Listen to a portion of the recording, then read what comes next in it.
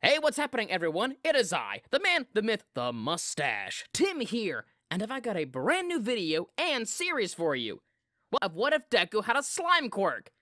I just wanted to stop by and say hello, and please sit back and relax because you are in for a treat. With that out of the way, let's get this party started!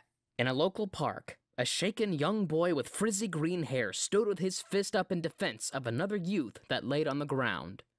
His eyes full of tears, his fight or flight impulses blasting on full, standing his ground against a group of delinquents led by a red eyed boy with spiky blonde hair, whose palms had multiple small explosions erupting from them, as he smiled wickedly towards the frightened boy. You useless Deku! Get out of the way! Quirkless idiot! shouted the atomic blonde as he slowly took steps towards the juniper haired boy.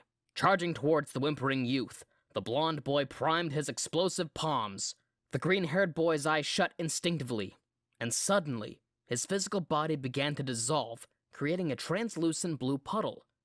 Shocked, the blonde boy could not stop his momentum and slipped harshly against the slime, which sent him crashing into a dumpster, bending it inwards and sending trash flying.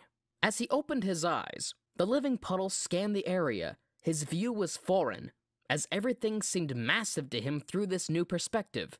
The other two boys were stunned at the events that just transpired, as they stared at the now semi injured blonde and the puddle he slipped on that was formerly Izuku Midoriya.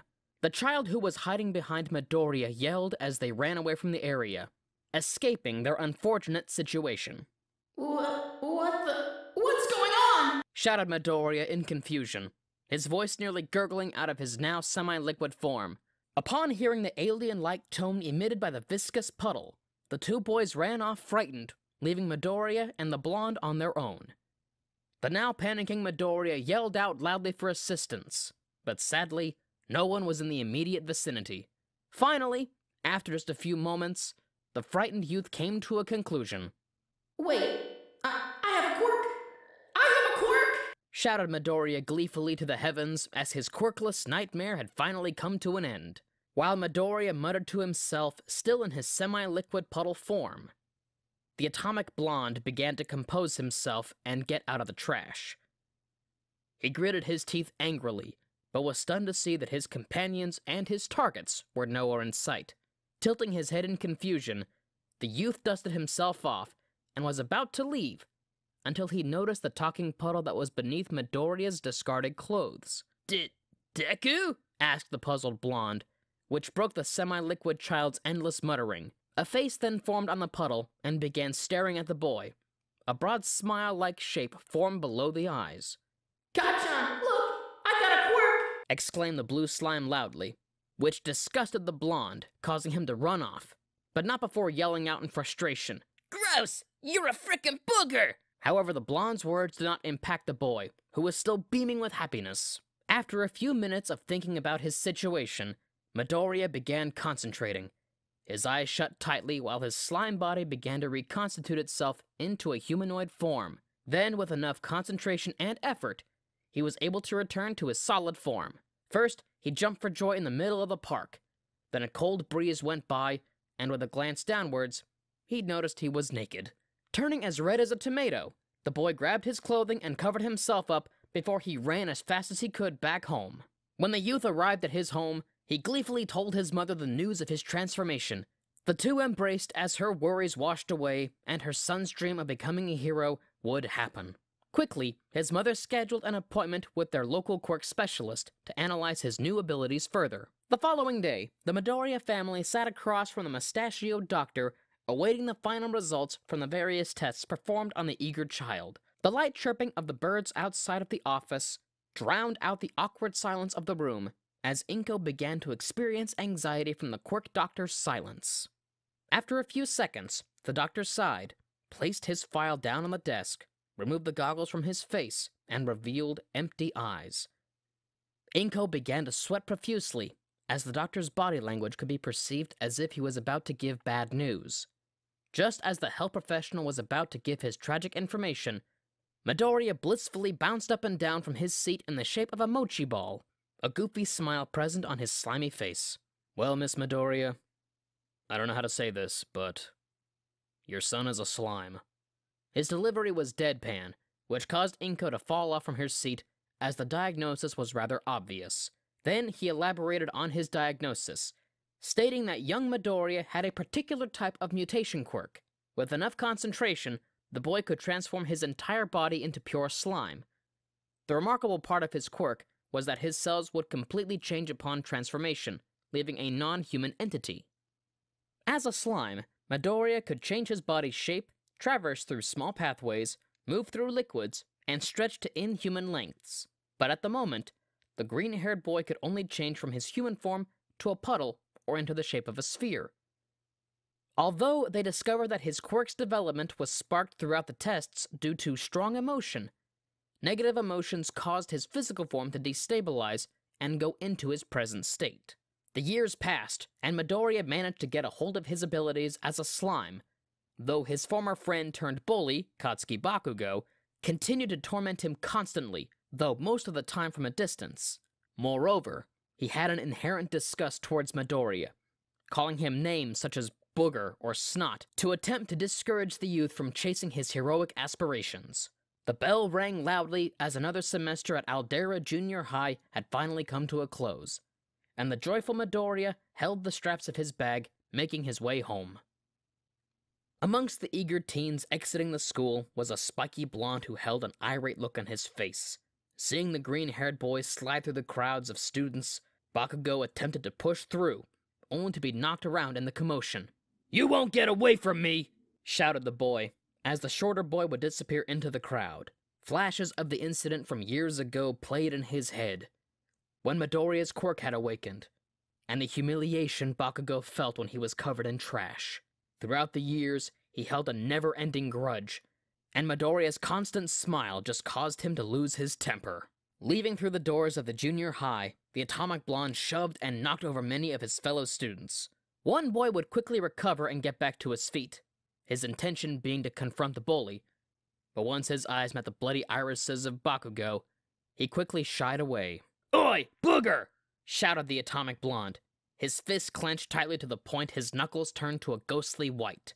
He ran up to Midoriya to shorten the distance that had formed in the commotion. Then, as Midoriya stopped in his tracks, he turned his neck to Slime and turned his head around to face Bakugo. The sudden act made the blonde stagger back, his eyes opening widely and the hairs on the back of his neck stand on end. Disgust overwhelmed him. Hey, Kacchan, what's up? asked the boy, who turned his body around to match the orientation of his head. Midoriya's body's fluid motion made Bakugo's stomach turn, nearly making him lose his train of thought. Look, Snot Rocket, you better not think of applying your disgusting ass to UA! The irritated blonde threatened, opening his palms and triggering small explosions, just as he was accustomed to doing for intimidation. Midoriya grinned and lifted his hands as if to surrender, lightly laughing, not taking the threat seriously, which irritated Bakugo to no end. After some back and forth, the two boys parted ways, and Midoriya continued on home.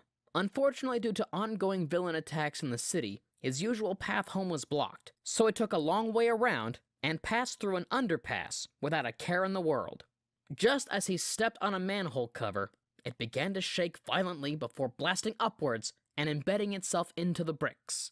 A wretched stench filled the air as green sludge jumped out of the sewers, its coloration a moldy green. Yellow eyes with blood red pupils stare down at the green haired boy. It opens its disfigured jaw, revealing large, sharp teeth, its slimy tongue waving from within. Excellent! A skin suit!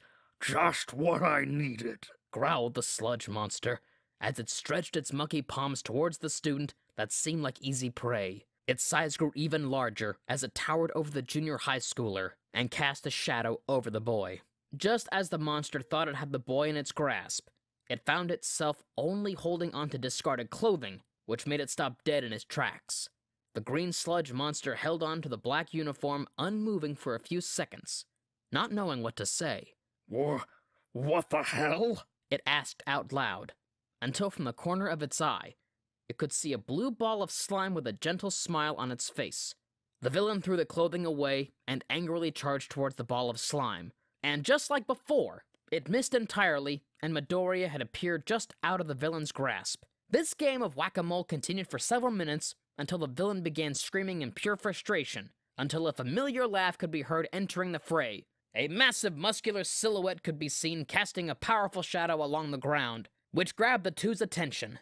Then, with the sunlight shining behind him, the golden haired pillar of justice made his presence known. Have no fear, for I am here! All Might announced, his fists on his sides in a heroic pose, which caused the sludge villain to panic instinctively. All Might, no, reconsider! pleaded the sludge villain, as All Might wasted no time and launched a powerful punch, displacing the air with gale forced winds, which blasted the villain apart. The sunken eyed hero then set his view to the blue slime on the side. The hero began reeling back his fist to attack the boy as well, thinking them to be on the same side. Midoriya's heart sank as panic began to overtake him, and he rapidly forced his body to return back to its human form. Then he waved his arms in the air to catch the attention of the number one hero, which caused the muscled man to stop and jump back. Oh All Might! No, no, no, no, no, no, no! I'm not a villain! I'm not a villain! He spoke at a frantic pace, with his eyes completely shut, and fear still ruled over him. After a second or two of awkward silence, a cool breeze passed through the area, which caused Midoriya's skin to goosebump. Then the familiar realization came to him. He was once again naked.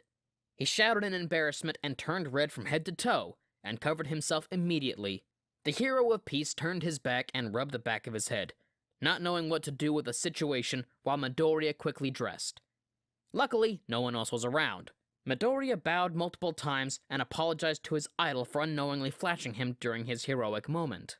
After getting a signature from All Might, the blonde hero collected the unconscious body of the slime villain and forced it into two bottles that he slid into his pockets. All Might then exited the area with a powerful jump, soaring over the skies of Japan and leaving the youth jumping for joy as he held his notebook that now contained All Might's signature. While Midoriya made his way home, from behind the boy, a small green ball of slime dragged itself across his back until it melded through the fibers and seeped into his skin, unbeknownst to the aspiring hero. That night, Midoriya slept peacefully as he embraced the signed notebook.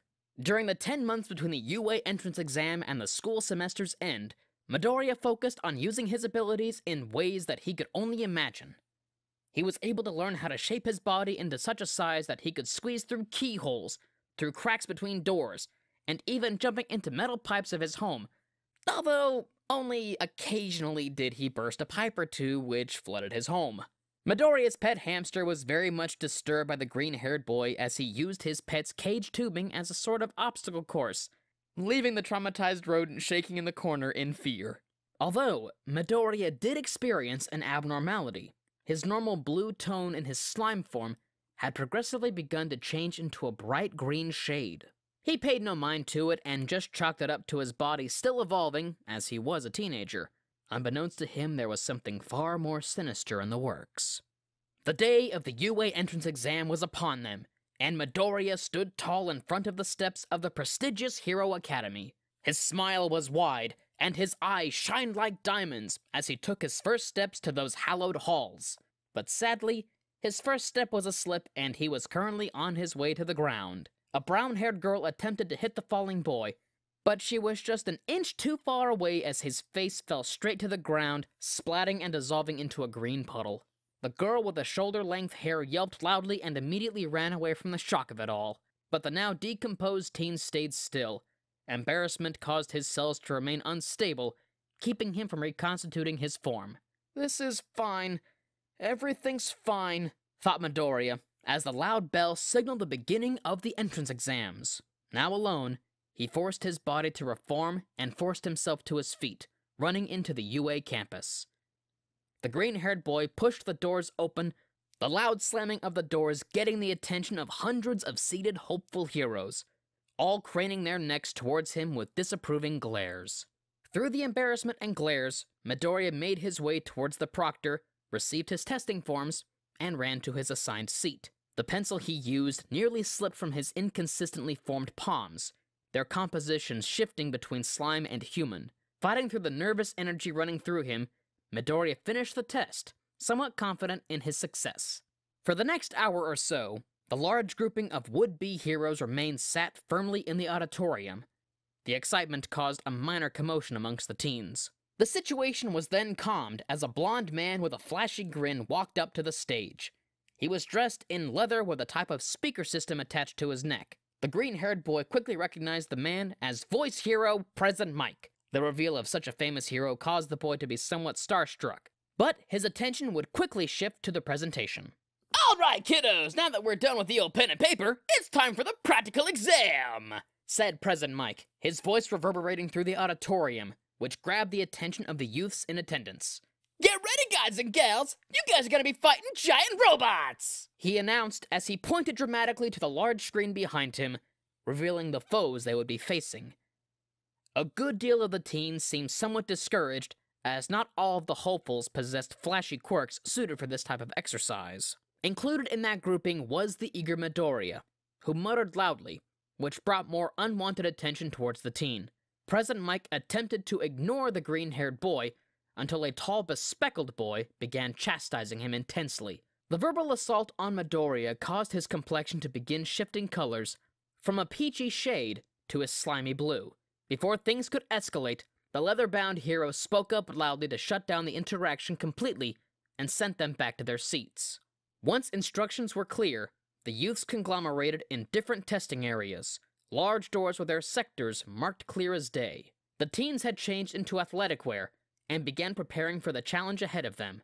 Midoriya stretched in anticipation of the exam until he noticed the brown haired girl he frightened earlier in the day. Then, just as he approached her, he was intercepted by the tall boy from the auditorium. Don't you dare break that girl's concentration! I will not have you ruining others' chances of getting into this prestigious institution, hoodlum! said the bespectacled boy sternly, his impressive physique standing strong, intimidating Midori enough to step back sheepishly towards the large doors. Suddenly, the steel doors began opening, no signal in sight, which confused the teens. What are y'all waiting for? There ain't any start signs in real life! Go, go, go! shouted Present Mike as he pointed towards the door, which caused startled examinees to rush forward, trampling those who stood in their way. As the dust settled, all that was left was a flattened blue puddle surrounded by a green tracksuit, with the blue slime trickling from the clothes. Well, that's great. So sighed the slimy youth as he remained in his congealed slime form, sliding out of his clothing and forming a humanoid slime form. Then, as he ran into the field, he used the slippery nature of his condition to glide through the replica city. Midoriya's eyes marveled at the intricate structure. It indeed looked like an actual city. The cost of constructing such an area would be something the teen would have to question later on. Sliding through the area, he happily crossed in front of some of the clumsier machines, and left a slime trail behind that caused them to fall to the ground, being crushed under their weight. He snickered as he continued through the area. Using the malleability of his form, Midori would also find more creative ways of taking down the heavier machinery. When causing them to tumble wouldn't be sufficient, he would jump in between gaps in their armor and short circuit them. To others, it just seemed as if the robots would smoke and collapse, only for a cyan slime creature to secrete from them, grossing many teens out in the process. Racking up point after point, the translucent hero hopeful felt his odds for getting into the Hero Academia to grow in his favor, then, just as the robots began to seem scarce, a massive mechanical titan outstretched its head from in between the buildings. The eyes of the slime bulged out, comically reacting with shock to the mechanical titan's sudden appearance. The crowd of students began running away from the approaching monstrosity, and Midoriya was about to join them until cries of help would reach him from a distance. Then, focusing his vision, the slimy youth recognized the brunette as the girl from before, Gulping audibly, the slime boy instinctively began dashing forward, no plan in mind. Just as the giant robot began approaching the girl, its massive steel boot about to come down on her, Midoriya jumped into action. A blue blur cast a shadow across the girl's face that quickly shot up towards the machine's head. His humanoid form shifted to that of a sphere and slid through the metal body at intense speeds.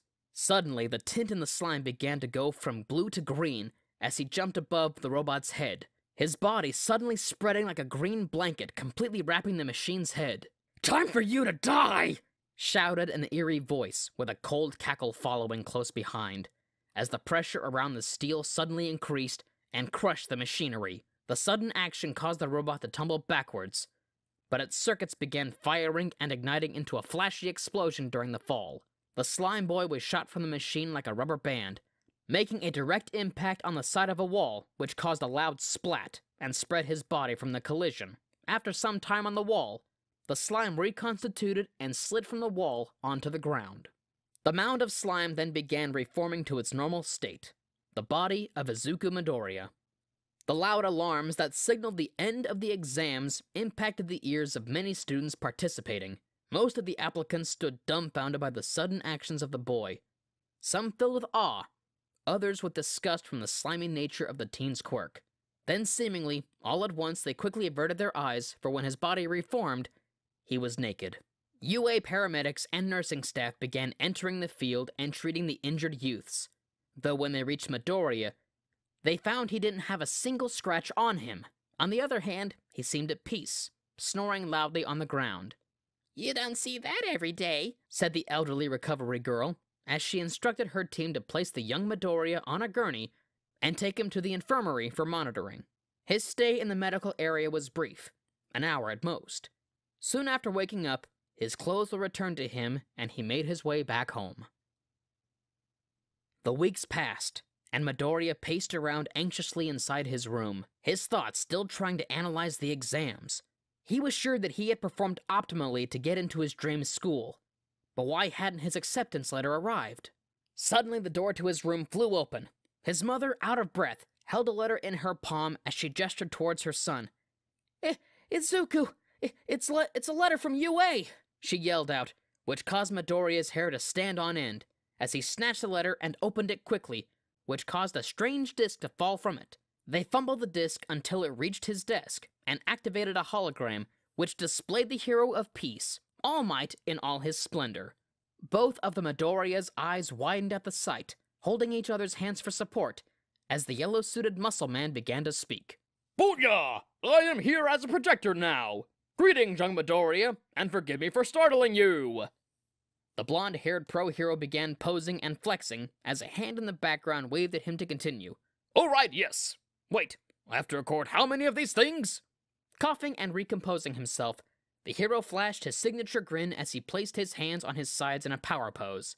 Young man, you aced the written exam, and as for the practical exam, you managed a total of 53 villain points. The man's voice echoed through the two Midoriya's ears as their eyes began to fill with tears. But wait, there's more. We had a secondary scoring system.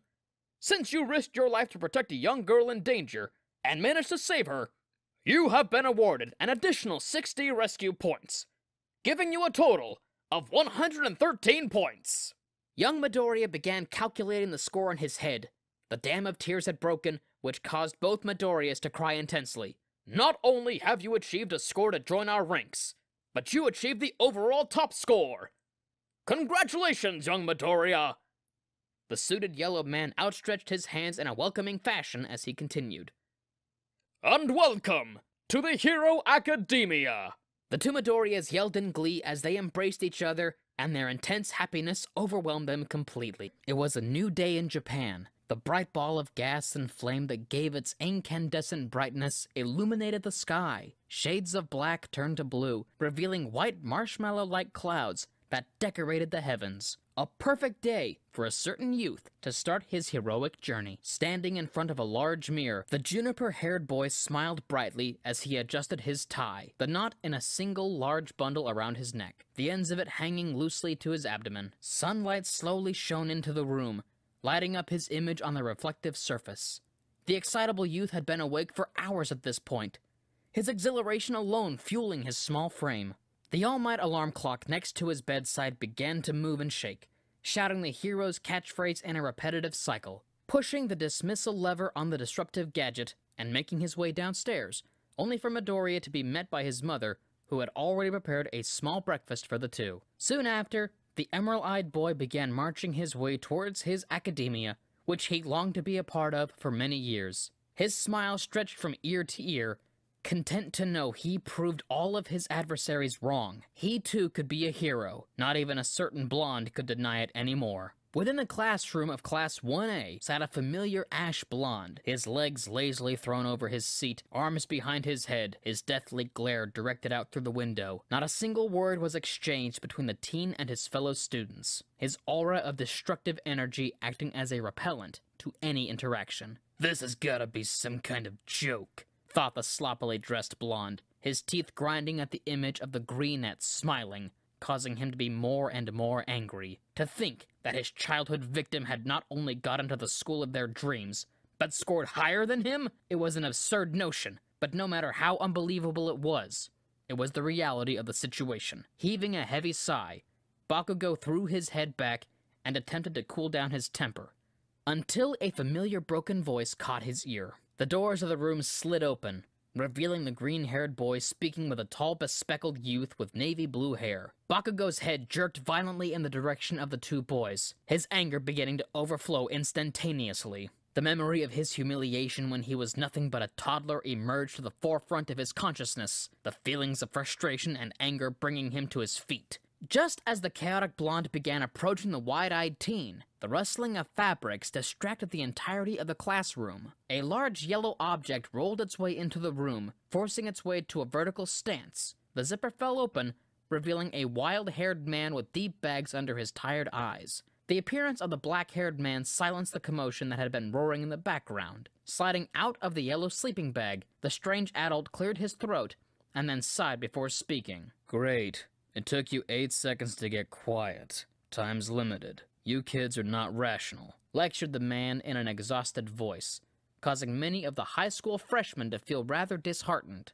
Quickly, the standing teens ran to their seats in respect of the authority figure. My name is Shota Aizawa, and I've been put in charge of you lot. The name of the man was recognized by Midoriya instantly, his eyes sparkling in admiration of the stealth hero, Eraserhead. He remained quiet, but his overly eager gaze made even the stone-faced man in front of the class uncomfortable. Put these on and meet me at the courtyard. From the sleeping bag, Aizawa pulled a bunch of gym uniforms out for the students to wear. And you, stop staring at me, Aizawa said towards Midoriya, who changed his color to a slight blue, with his body jiggling like gelatin in fear. The class quickly changed into their given uniforms and promptly made their way outside to their instructed location. The conglomerate of students assembled in a disorderly fashion, teens separating into groups getting to know their new classmates. Though apart from the group stood Bakugo, hands firmly in his pockets, a permanent look of annoyance resting on his face. Even though he looked away,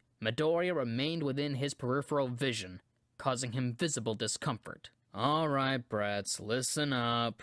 Aizawa said, his voice resonating with annoyance and disinterest. Their teacher's words prompted them to go quiet, though at the tail end of the group, Midoriya continued his chat with a purple-toned boy, unaware of the presence of their teacher. A swift elbow jabbed the greenette in the ribs, which caused him to yelp from the unexpected impact. Just then, he turned around to see the black-garbed man glaring intensely in his direction, causing the slimy youth and the pint-sized teen to quake in their place and grow silent. As I was saying, we are going to have a physical assessment test. Essentially, the same thing you've done for years in school. The announcement of a physical test caused many of the students to sigh in protest. The man's intense glare then silenced the group. Difference is, you'll be using your quirks. Manic laughter began coming from the grouping of students, causing the members of 1A to look in the direction of the disruptive sound. Bakugo had entered a manic laugh, his teeth bared in a massive smile that caused shivers to run up and down the spines of his classmates. That's more like it! shouted the ashen youth, swiftly removing his hands from his pockets to start blasting explosive from his palms in a show of dominance. Though as quickly as the eruptions of sweat began, they suddenly stopped. Aizawa's hair stood on end with his eyes glowing ruby red with a menacing scowl to complement it. The rowdy youth's cocky grin remained, even though his quirk had been nullified, though questions began arising from the group. One hand rose first, coming from a young girl with round cheeks and brown shoulder-length hair. Excuse me, Mr. Aizawa, won't we miss orientation? Uraraka asked, having had some prior knowledge of how the start of the school year should usually go, at least according to the school itinerary. Others joined in protest of missing additional activities that would involve getting more knowledge of their new educational facility. I have free reign to teach this class as I see fit. If you have a problem with that, you're free to leave, replied the eraser hero, his tone strict and nonchalant at the same time. The protesting teens began to simmer down as they continued to listen to their teacher. There's not a lot of time, and we don't need to focus on useless things, said the black garbed man, grabbing a softball from a pile and throwing it towards the distracted Midoriya. The ball hit him in the forehead, which immediately became concave due to the surface turning to slime. The unexpected impact gave Midoriya little time to react, sending him to the ground. The softball rolled off the indentation on his skull, which then bounced back and solidified. Others in the group then began to hold in their laughter, though the explosive blonde burst out in pure delight. Seems you're useless, sighed Aizawa, as he picked up another ball and threw it towards the cackling blonde, who caught it instinctively. What's the furthest you've ever thrown a ball during a physical assessment? questioned the tired man, his indifference emanating from his words. Heck, I don't know. 30 meters or so? replied Bakugo as he stepped forward towards his teacher. Great. Now try using your quirk, said the educator as he gestured towards a circle in the dirt. The blonde followed and prepared himself to launch the softball. Now you can do whatever you want. Just stay inside the circle, instructed Aizawa, as he stood back and held a small device in his palm. Bakugo gave a wicked smile as he reeled back and launched the softball at full strength. Right at the end of the throw, a massive explosion rocketed the ball into the sky, a shockwave lifting dirt and pushing some of the students back. After a few seconds, the gadget in Aizawa's hand flashed with a final score from the throw, signaling the distance traveled 702.5 meters. Great. Upon hearing his score, Bakugo began cackling and teasing his classmates to dare attempt to surpass him, shooting deadly glares towards his childhood friend. The students began getting excited, brainstorming on how to use their quirks to perform optimally, although more than a few students did mention that this would be a fun experience, which caught the ire of Aizawa. Fun, huh? How about we up the stakes? The person who finishes last overall. He paused as the students' faces began to change in fear of what was to come. Will be expelled. The teens' eyes widened and fear began to overwhelm them completely. Cries of protest were silenced by simple hand gestures from Aizawa. Student after student went and took their turn at bat, throwing the ball utilizing their special abilities. A few students managed impressive scores. The creation quirk user, Momo Yaoyorozu, managed to surpass Bakugo by creating a cannon, and after her, the gravity quirk user managed an impossible score of infinity thanks to her unique gravity powers. In the end, the last one called was Midoriya, who was still sitting on the floor, muttering to himself while the others took their turns. Hey, useless. You're up, Aizawa called, waving the boy over, and throwing a ball in his direction once more, this time being successfully caught. The green haired boy stood staring at the ball in his palms, staring at it for around a minute, which began irritating his instructor. Throw the ball or you fail, spat the man, anger lingering in his voice, which caused the youth to jiggle slightly, being somewhat destabilized. How do I? He paused before suddenly speaking up. Inspiration finally hit him. Oh, I got it now! shouted Midoriya. His smile beamed brightly. The palm that gripped the softball suddenly turned to slime, along with his forearm. Using his free hand, he began pulling back on the slime, forming a makeshift slingshot. Shaking from the tension built in his arm, he let out a loud yell as the ball shot like a bullet, blowing back air and knocking the green haired boy over. The ball flew straight into the air, breaking through low flying clouds and disappearing from view. The entire class grew quiet, especially Bakugo, whose eyes twitched in frustration as the gadget in Aizawa's hand began to sound off. Uh, how'd I do? asked Midoriya, who was still on the ground. His arm slowly shrank back to its normal length 1,324.6 meters. The result left many students baffled.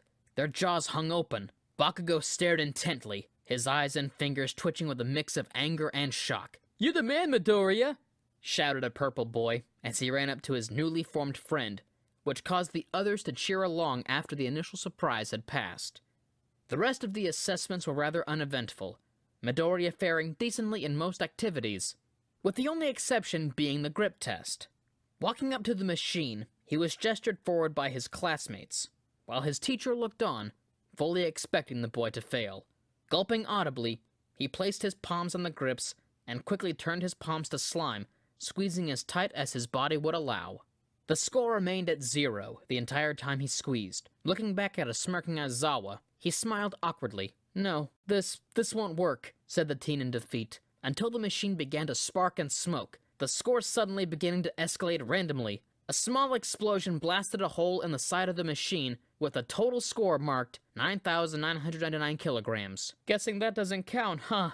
asked the boy, as he released the grip and began rubbing the back of his head in embarrassment. Zero points, said Aizawa, with a deadpan delivery, which caused Midoriya's head to drop in disappointment. At the end of the school day, the scores had been tallied, and Midoriya managed to be in the top 10 of his class. This gave him great pride, as he began smiling towards his short friend, who was crying heavily as he had ended up dead last. Hey, it's okay, Mineta. I'm sure everything will be all right. Midoriya reassured the short-statured boy, patting him on the back, though this did little to calm the erratic teen. Aizawa called the students together once more, for what they believed was a public expulsion. The expressions on their faces were a mix of relief and sadness to the current situation. I'm sorry to tell you that for the next three years, UA will run you through the ringer. That's plus ultra. Use your strength to overcome it all, so bring it. Class dismissed, announced the black haired man as he prepared to walk away, giving his students a thumbs up. Bubba, wasn't I supposed to be expelled? shouted the boy with purple spheres in his head, his eyes still bursting with tears. Oh, that? That was a logical ruse to get you all to perform your best. Aizawa said with a rather strange smile on his face, his veiny, tired eyes opening wide in the process. Collectively, the entirety of Class 1A breathed a sigh of relief, while Mineta cried louder as he jumped into Midoriya's arms, now crying for joy. The loud bell of UA signaled the end of the school day, the many first years walking in small groups as they began to disperse, leaving on the bus or with their families that waited at the gates. Midoriya said his goodbyes to his new friend Mineta and continued his way onto the streets to make his way home. Snot Rocket! The familiar voice of Bakugo reached the slightly exhausted Midoriya, who stopped dead in his tracks. You! You got lucky today! I'm gonna crush you the first chance I get! growled Bakugo, as he passed by Midoriya and shoulder checked him, which caused the green haired boy to drop his notebook. Okay, see you tomorrow, Kacchan! yelled out the green haired boy in a friendly tone while picking up his notebook, which caused the angry blonde to scream in frustration from a distance. The following morning, Class 1A was going through their usual morning chatter, until they were told their next course was Hero Studies, their first true class concentrated on their ambition, and the students talked amongst themselves, anxious of what would come next. Suddenly, the sliding door shot open, and a tall, instantly recognizable hero dashed inwards in a dynamic pose. Walking through the door like a hero! yelled All Might loudly, with a massive smile on his face that instantly lifted the spirits of any who were in its vicinity. The students cheered in excitement, especially Midoriya, who began to shift colors as his own smile reflected the hero's presence. Yes, it is I, All Might, and I will be your Hero Studies instructor!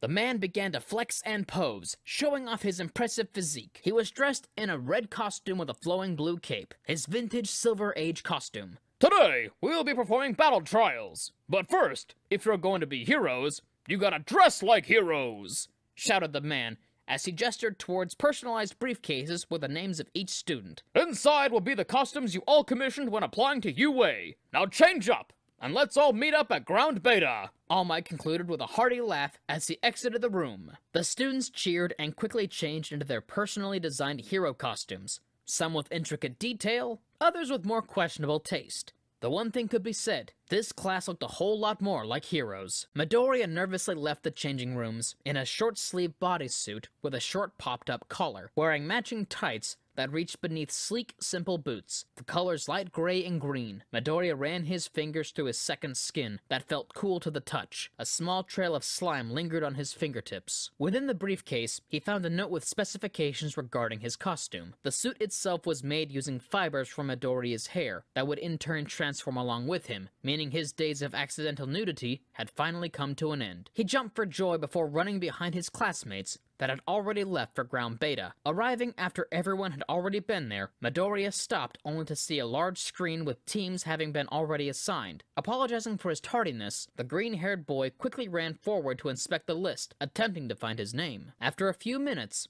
he managed to locate himself on the screen. He had been assigned to team up with his new friend Mineta, though their opponents caused his heart to sink. It was Katsuki Bakugo and Tenya Ida. Slowly cranking his head backwards, Midoriya could see his tormentor with a wide evil grin, carefully causing explosives to go off in his palm. I told you, I'd get you, growled the blonde, knowing his time for revenge had finally come, and he would savor this moment. Now that all the teams had been made and the matches had been scheduled, All Might began giving instructions on how the exercise would play out. There would be a villain team and a hero team. If the heroes managed to apprehend the villains and find the fake bomb, they would be victorious. But if the timer for the explosive were to reach its end, or if they defeat the heroes, the villains would win instead. Midoriya and Mineta locked eyes before gulping audibly, sighing as they knew what was to come would surely be hell.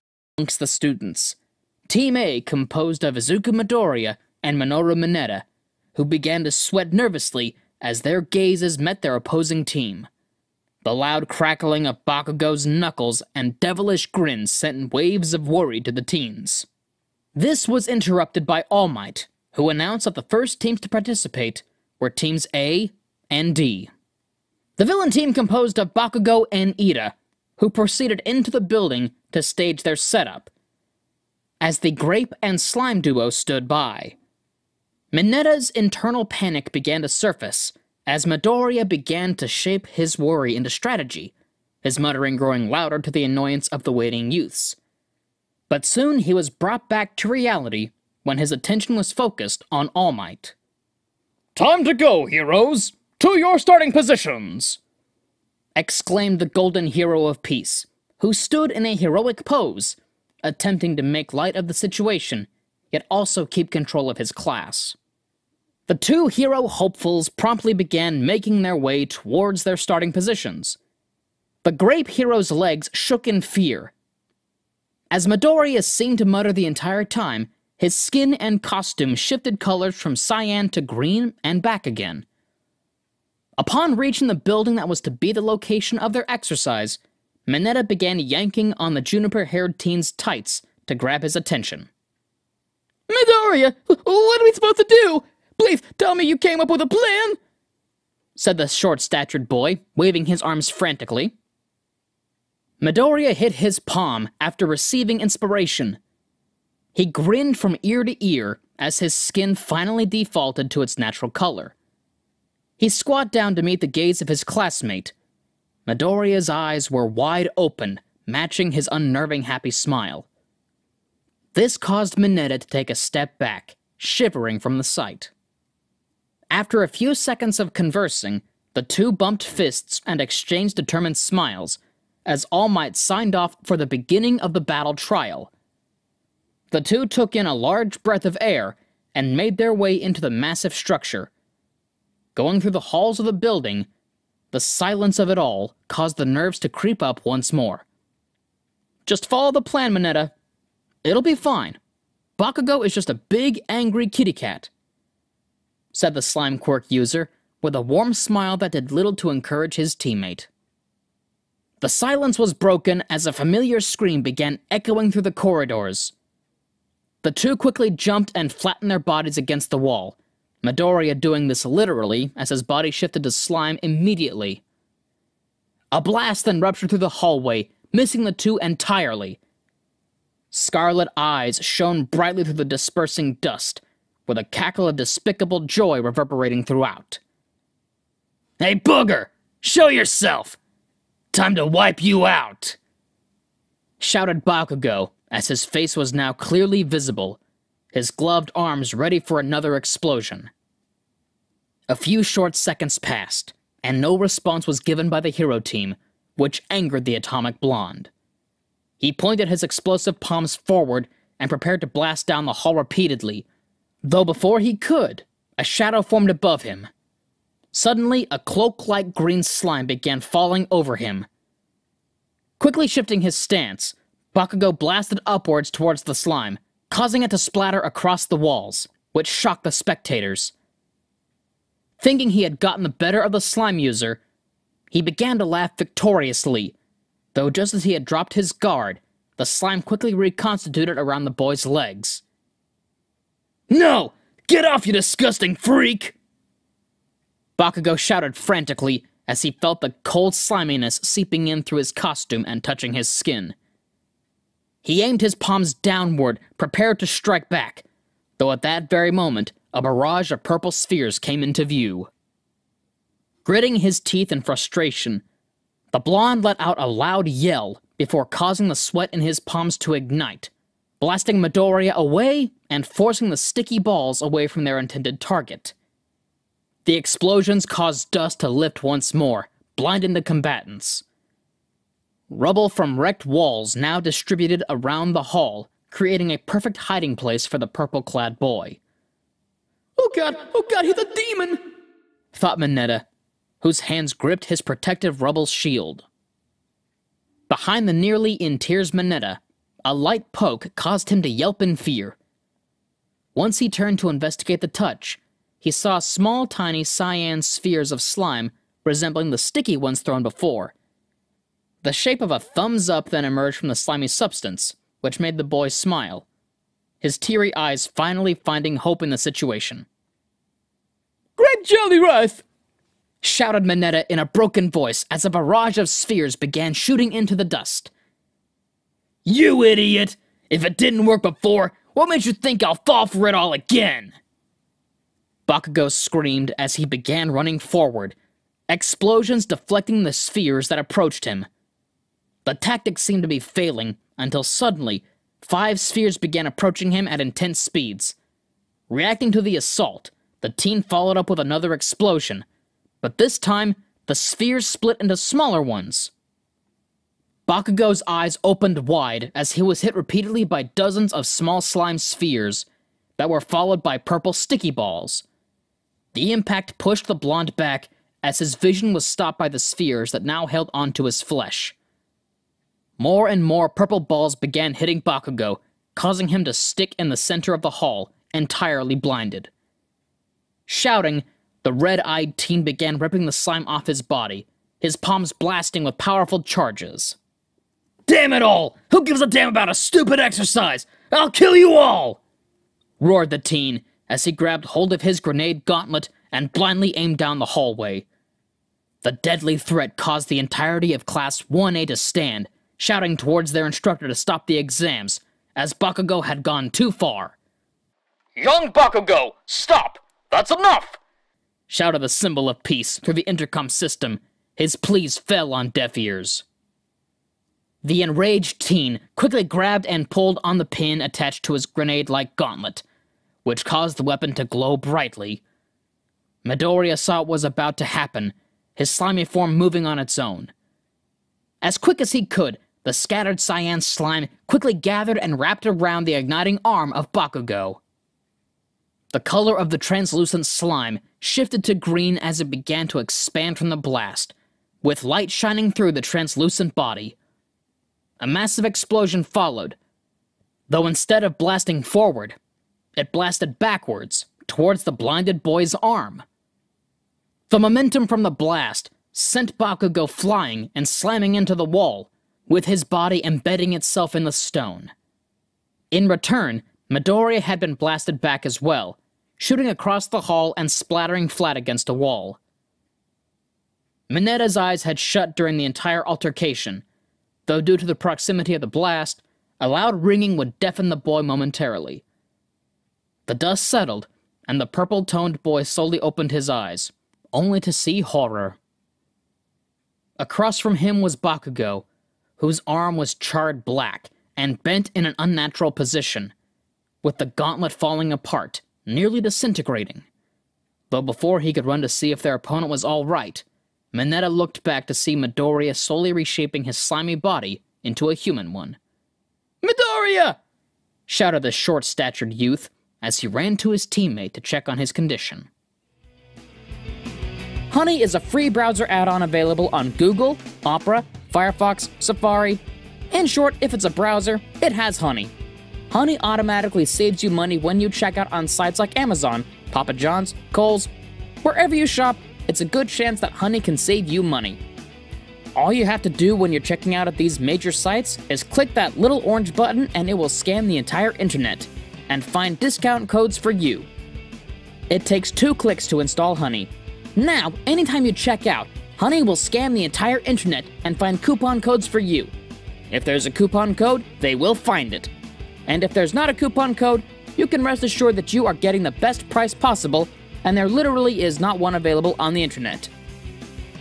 If you install Honey right now, you can save like 50 to $100 on your shopping doing nothing. There's literally no reason not to install Honey. It just takes two clicks. 10 million people use it, 100,000 five star reviews. Unless you hate money, you should install Honey. Midoriya had managed to regain his human form and was resting against the wall. Scuffs covered his body, while his breath was shaky and uneven. Though considering how he jumped in front of a deadly blast, it was a miracle he was in such good shape. Hey, buddy. I told you he was just a, a kitty cat. Sighed Midoriya as he attempted to catch his breath.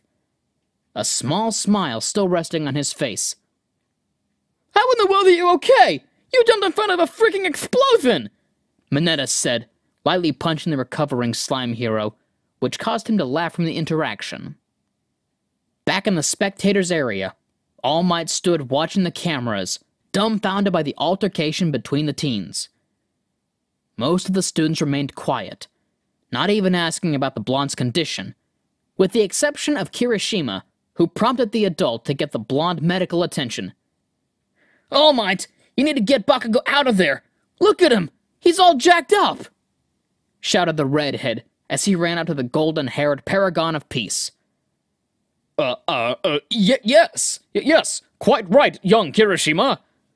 All Might replied as he shook the shock of the moment and quickly informed the medical department to run to action. Through the intercom system, All Might told his students that the exercise would continue as scheduled until time ran out. The two boys on the hero team looked at each other and sighed, knowing that even if they were exhausted, they would have to proceed. Mineta helped Midoriya to his feet as the two proceeded through the stairs and passed by an unconscious and heavily injured Bakugo, who was taken away by medical staff. He's gonna be okay, right, Midoriya? Asked the boy in purple, looking up at his friend. He's tougher than he looks. I'm sure he'll be okay. Midoriya reassured him as the two finally entered the top floor, which only housed the speedster Ida who guarded their target. The color of Midoriya's eyes flashed from their natural emerald green to a strange blood red. His heart pounded heavily, and adrenaline began to flood through his entire body. M Midoriya? asked Mineta in a low whisper, feeling an eerie aura beginning to pulse from his comrade. Within Midoriya's mind, he could see violent actions taking place, how he could strike down his opponent, how he could end his life. His breath shook violently from the mental stress that attacked the boy. Then, hearing his friend's whispers quickly shocked him back to attention. His eyes returned to their natural green shade. Oh, uh, sorry. My bad. Let's let's get him. Don't forget the plan. As he took a few steps forward, Midoriya looked back at Mineta with a kind smile. He then morphed his body into a slime and began to travel the room, up the walls and across the ceiling. Mineta looked on. An eerie feeling still lingered about, emanating from the slime hero. Upon reaching the area above the payload, the cyan slime began to slowly and silently stretch out to covertly reach the explosive.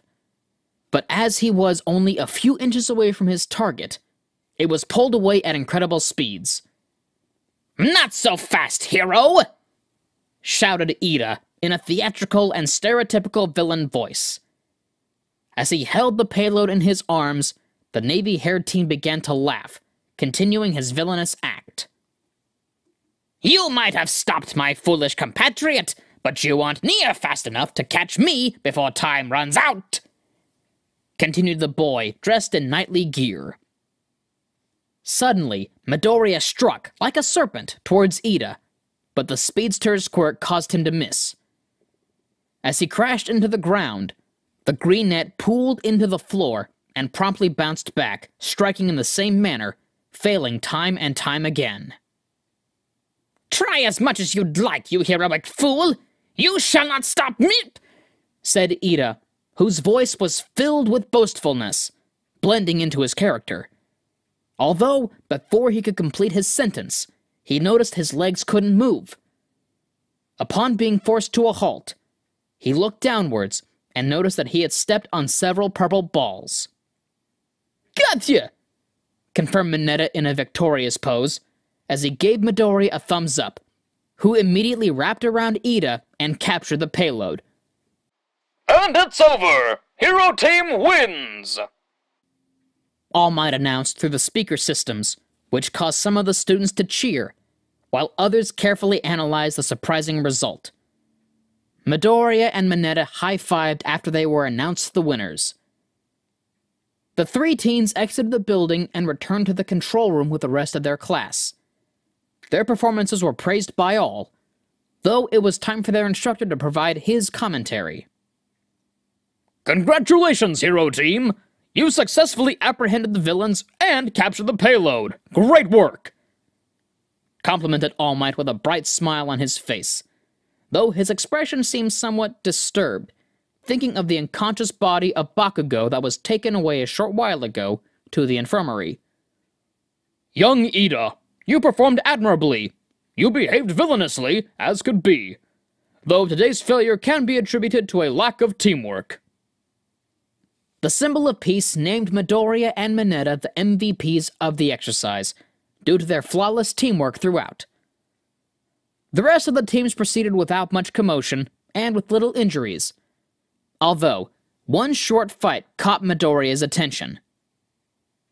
In a matter of seconds, the hero team of Shoto Todoroki and Mezo Shoji managed to secure victory as the building was completely encased in a wave of ice, which came from the two-toned youth. Maybe we should steer clear of that one, mumbled Midoriya with a playful shove towards his friend, who, instead of paying attention to the screen, was staring lasciviously towards his female classmates. You know, most of those girls could kill you pretty easily. Teased the freckled youth, which caused Mineta to start sweating bullets and hide behind Midoriya. This brought the green-haired boy to tears of laughter as the purple-shaded teen argued the humor of the situation. Hours later, Bakugo laid in what seemed to be an emergency room. His hero costume had been discarded, and all he wore was a hospital gown. His right arm was still badly burned, the majority of which had been taken care of by the caretaker of the infirmary. In the mind of the unconscious teen, Bakugo's imagination ran wild.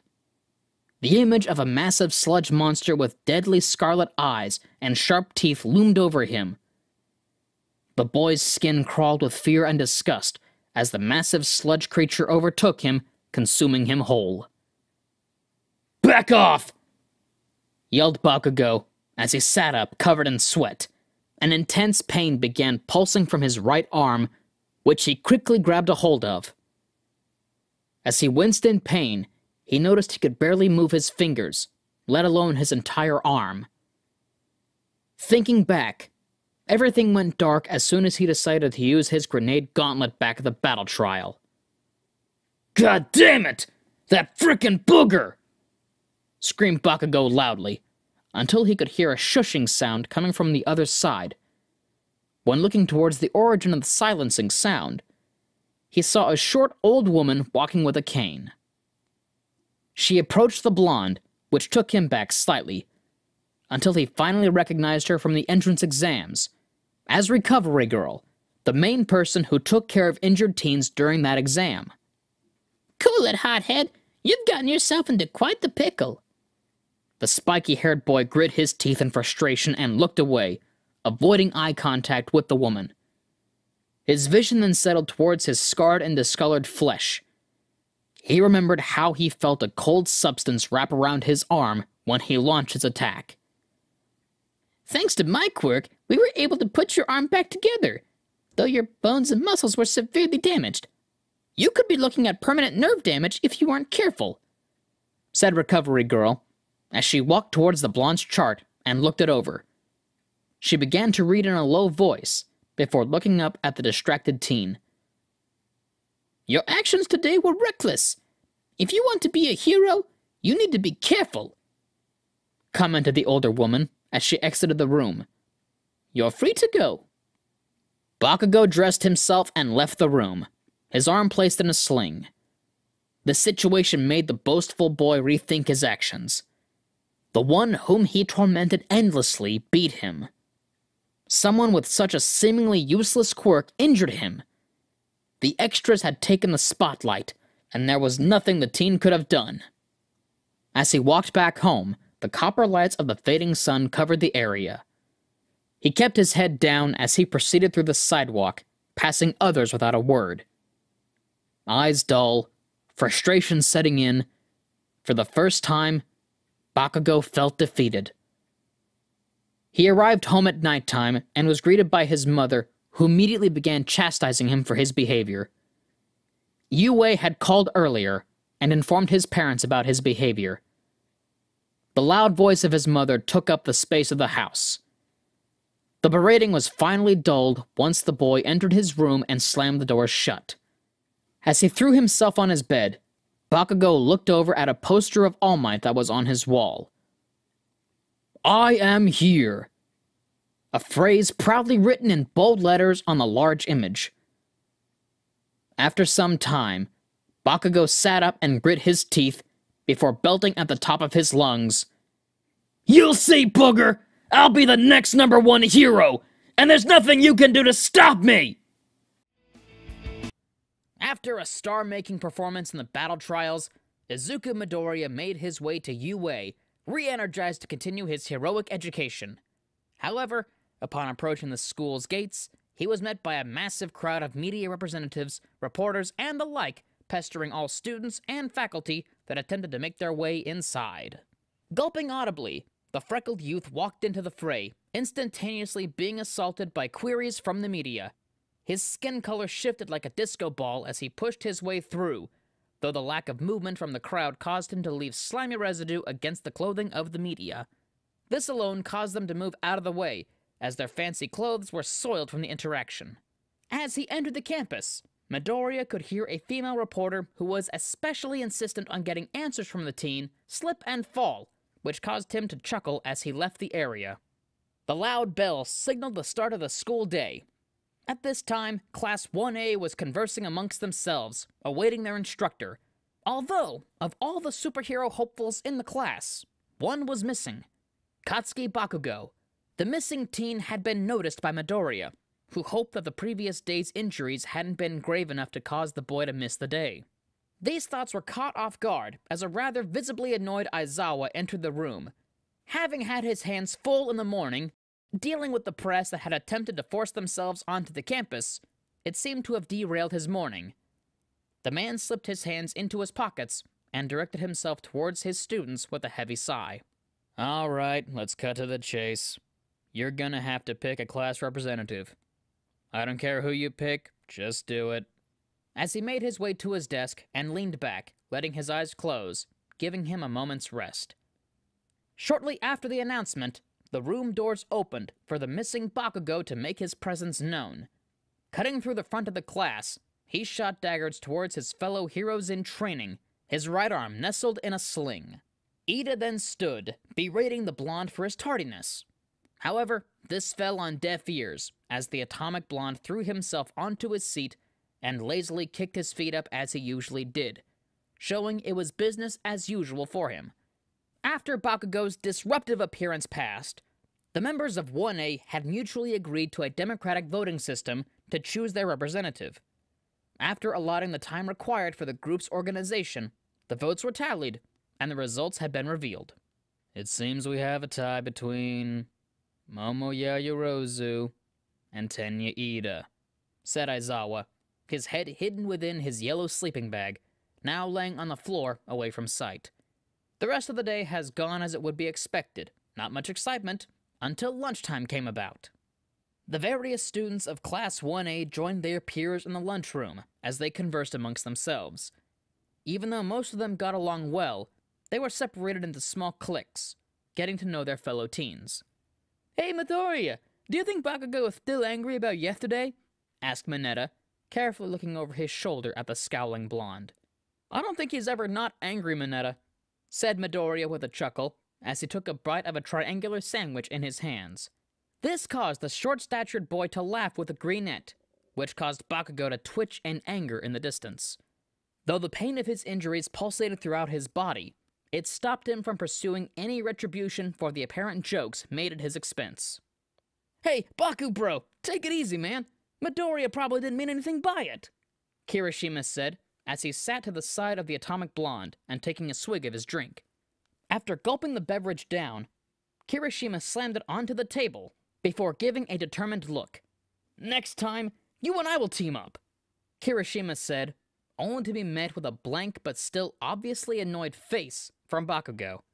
Sweat rolled down the side of the boy's face as the silence was followed by the blonde lifting his working hand and making an obscene gesture towards the hardening quirk user. The two teens began to bicker amongst themselves as Midoriya locked eyes with a pink tinted girl on the bench across the mess hall. This girl was part of his homeroom class, though she was easily the most distinct. Hair and flesh the color of a cherry blossom, with eyes that one could only describe as alien. While attempting to swallow his food, he noticed the girl wink his way, which immediately caused him to turn red and choke on the chewed bread and luncheon meat. Gripping his throat, Midoriya stood, his skin turning blue, green, and back to normal in rapid succession. The entire time, the boy's esophagus was clogged. The dwarven boy at his side continued to ramble on about the girls in the school, his obscene comments going without response. You gotta admit, Midoriya, you a have S-rank babes, am I right? asked Mineta, his cheeks rosy as his perverse thoughts pranced around his mind. Then, when low coughing could be heard, he turned to inquire about the lack of response. Noticing his friend's head now changed to the color purple, matching his own shade, he screamed in shock, alerting the rest of the teens in the vicinity. Some began to worry as others started to approach, though when the grape haired boy attempted to slam his palms against the back of Midoriya, his clothing caved in as Midoriya turned to slime. The sudden splatter of cyan slime across the cafeteria brought an immediate silence to all in attendance. The gray uniform of the green haired boy, now draped across the table, along with a splatter of slime across the floor. Then, after a few awkward seconds of silence, the sound of someone throwing up in the distance caused everyone to retch in disgust, except for a specific few. Hey, it's not that bad, ribbit, commented ah Asui, her face unimpressed by the commotion. The pink skinned girl crossed her arms and sighed before chiming in with her comments. So what? It's just a bit of slime. Not like I can hurt you. The girl lifted her palms that now glistened with a viscous residue that overflowed to the ground, causing it to erode on touch. Or maybe it can. she teased, giggling to herself. Asui rolled her eyes at the comment. The translucent cyan slime then reconstituted itself away from the uniform as Midoriya stood in his specialized hero costume, which he wore underneath his clothing his head tilted downward as embarrassment overwhelmed him. His awkward nature, once again, caused him to give off a bad first impression. Or at least, that's what it seemed. Yo, dude, I thought you were a gunner, said Mineta as he yanked on Midoriya's pant leg, a slight tear in his eye. Midoriya's cheeks grew red as a tomato as he walked forward to retrieve his clothing and leave the room, only for his actions to be interrupted by a loud siren that sung throughout the school. Light flashed in the room as an emergency alert system was triggered. It seemed the grounds of UA had been infiltrated. The students quickly got to their feet, and the previous commotion due to the slime incident had ceased. And this new event had incited chaos amongst the teens. As he slowly turned his head, Midoriya was suddenly trampled by the sea of students that rapidly made their way through the doors of the mess hall to seek refuge. Hey, you jerks! You can't just run someone over! yelled Mineta as he was promptly kicked over by the masses while attempting to chastise their wild behavior. Once the wave of students exited the room, Midoriya was seen, flattened on the floor like a pancake, as he had been during the entrance exams all those months ago. Oh, great. This again? gurgled the flattened puddle as a burst of familiar laughter erupted in the distance. It seemed that Bakugo's humor had returned. Midoriya, Are you all right? Iida asked as he dashed rapidly onto the scene, having been shuffled away by the crowds too quickly to have assisted earlier. After he adjusted his glasses, Iida began to dramatically chop the air, rambling on about the non heroic behavior of their peers to his immediate friend group. I, I'm good, Midoriya replied, as he forced his body once more into a human form and dusted himself off as he stood. His cheeks were still rosy from the embarrassment suffered in front of the majority of the school. The boy silently walked forward to join the evacuation, only for the pink skinned girl to speak up. Hey, Jelly Boy! The nickname caught the emerald eyed boy by surprise, turning his head to see Mina Ashido walking towards him. His cheeks once more darkened, as she was the catalyst that caused the situation to happen in the first place. Forget about all those losers. Just have fun with it. With quirks as weird as ours, it's bound to happen. The girl playfully punched the teen's shoulder, which jiggled like gelatin from the impact. Her words caused a slight smile to appear on his face, the blow to his ego being softened somehow. The protesting voice of Iida continued as the group followed the multitude out into the main hall. This is unacceptable! We need to find a semblance of order! He yelled as the students cluttered, blocking the singular pathway they needed to follow for escape. Then, with quick thinking, Iida came up with a plan. Using Uraraka in their class for a boost, being levitated by her quirk, Iida blasted the engines on his calves and began to spin in the air until he landed above a large entrance, holding his body for dear life. Before speaking, he looked out the window, only to see the crowds of media that were previously causing trouble in the morning had broken into the school. It seemed this was a false alarm. Taking a deep breath, the boy then whistled loudly, catching the attentions of the panicked students below. Fellow students of UA, please, listen to me. Do not panic. His hand gripped tightly to metal piping that laid against the wall, his pose awkward and hilarious, causing some of the panic to be replaced by laughter. This is no villain attack. It is just the media. See for yourselves. Out the window. The agitated youths then began to follow the instruction of the blue haired boy, seeing that his words rang true. But fortunately, all that was outside were the press causing trouble as they always have. Nevertheless, the revelation caused many of the students to regret their previous actions quickly. The boy above them began chastising them for not behaving like the heroes they strove to be at their prestigious academy. After the dust settled and the press removed from the premises, it was time to investigate the break in. The many school staff members, including their security team, began to look for clues around the gates. Aizawa knelt down near the gate, seeing one of the many mechanisms of the entrance having been disintegrated. His darkened eyes fixated on the ash that now ran through his fingertips, suspicions high. This couldn't be the work of the press. Who could have done this? Questioned the wild haired man as he began to analyze the situation and hoped no one dangerous had managed to sneak into the campus, as this would be disastrous. Later on, Class 1A had been reconvened to their homeroom, as a particular exercise had been set up for the rest of the day. Now, out of his yellow sleeping bag, Aizawa spoke up in front of the class. We're going to be taking a trip to a special facility outside of campus for another training exercise. The lazy words of their teacher caused the students to smile and mutter in excitement. However, Aizawa continued providing instructions to the unruly teens. Suit up. You can bring either your entire costumes or a mix and match of gear. It's up to you. You're the ones lugging it around. The entirety of Class 1A wore their hero costumes and proceeded outside to a white van that awaited them. Quickly taking leadership of directing the group, class representative Tenya Iida attempted to instruct his classmates to behave and enter the van with calm and order, which fell on deaf ears most of the time. The class divided evenly on both sides of the van. Bakugo specifically chose the one opposite Midoriya, glaring at him the entire time, his domino mask accentuating his furrowed brows. The first group began laughing at the ridiculousness of the earlier situation at school. Then they began to describe their quirks, which garnered the attention of the slimy teen. It seemed he wasn't the only boy with slime like powers. Both Ashido and Asui could produce similar substances, which helped the trio gain confidence in each other. All the while, Mineta whimpered with jealousy from the attention Midoriya had garnered from the various girls in their class. Arriving at their destination, the students were met with a large dome structure, which caused the class to admire with their jaws agape. As they exited the van, they were ushered inside by their teacher Aizawa, only to be met by a spacesuit wearing individual at the entrance of the multifaceted arena.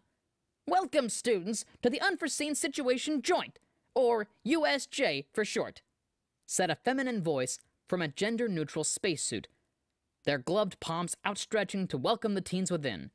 Midoriya's eyes sparkled, realizing who the white garbed individual was before them. It's the rescue hero, 13, Midoriya happily said, his fanboy nature coming to the forefront, which caused the interrupted pro to stumble on their words, as they rubbed the back of their head to attempt to regain composure. Y- yes, I am 13, and I'm here to help train you kids in search and rescue tactics. The special area was made with this in mind. As you can see, it is divided into various zones, with several emergencies occurring on each side. 13 said, as they showed the burning buildings in the background, artificial landscapes, sinking ships, and many other various situations. The spectacular arena caused the teens to mutter and converse in excitement, as they wanted to jump into action immediately. Everyone will get a chance to participate, just calm down, Iida said as he chopped the air for dramatic effect. But in the distance, a strange sight began to appear. Midoriya squinted towards the horizon and began to walk past 13, only for his eyes to widen. A cold chill ran down his spine. Mr. Aizawa! Midoriya grabbed the attention of his teacher, who was prepared to chastise the boy, only to see the origin of this shock. Before the students could react, purple voids began to emerge throughout the USJ as crowds of dangerous individuals marched out from the shadows. A man with a black cloud appeared from the leading portal, followed by another with multiple hands attached to his arms and face. Soon, from the portal, another creature emerged. A massive, muscular monster, its brain exposed in its skull, with wild, bulging eyes in full display. It's an ambush, mumbled Aizawa, as his hair began to stand on end, and his scarf began to flail into the air as a red glow emanated from his eyes. As an instructor, he would not allow these villains to lay a finger on his students, even if it cost him his life. A multitude of dark portals filled the arena, with dozens upon dozens of dangerous villains flooding into the open space. Midoriya moved back and hid behind his teacher. This was no test. It was an invasion. Both 13 and Aizawa stepped forward, ready to defend their students. Everyone, make your way to the exit and alert UA. 13, go protect the kids. I'll hold them off until backup arrives. The students protested, not wanting to leave the pros to handle the villains alone, but they were met by stern glares. A few of the students did as they were told and began stepping back towards the large doors. As they turned to run, another portal appeared, blocking the exit. No way in hell am I leaving all the fun to you! screamed Bakugo as he rocketed towards the main group of villains, his explosions propelling him through the air. Joining the Atomic Blonde was Kirishima, who used his hardening quirk on his arms. But just as the two approached the shadowy figure and the man with hands surrounding his body, another black portal appeared. My, my, are you children in this much of a rush to die? said the well dressed shadow villain, his arms firmly behind his back, unmoving at the approaching students. The spectral mists began to engulf the students, their surroundings now shrouded in darkness. All the while, the multitude of villains continued their steps towards the heroes. According to the curriculum we procured yesterday, All Might was supposed to be with this group. A pity. This caused the man with hands to twitch uncontrollably and scratch at his neck anxiously. His eyes focused as he looked toward the surrounded students and teachers. As he balled up his fist, the gray haired man growled in anger. This is disappointing. I bet if we kill those brats, that bastard will show. The venom in his voice caused fear to be instilled into some of the members of UA especially Mineta, who shook timidly. His eyes watered up as he ran to Midoriya's side and grabbed his leg. The shocked slime quirk user broke his concentration on the villains as he felt his leg being gripped. T take it easy, Mineta. I'm sure All Might will show up. Eventually. Commented the greenette, who gulped hard, while the shadows began to close in. Using the banter between the villains as an opportunity to strike, Aizawa jumped into action with his goggles covering his eyes and his hair standing on end. His capture scarf launched like a whip towards one of the villains and grabbed a hold of their arm.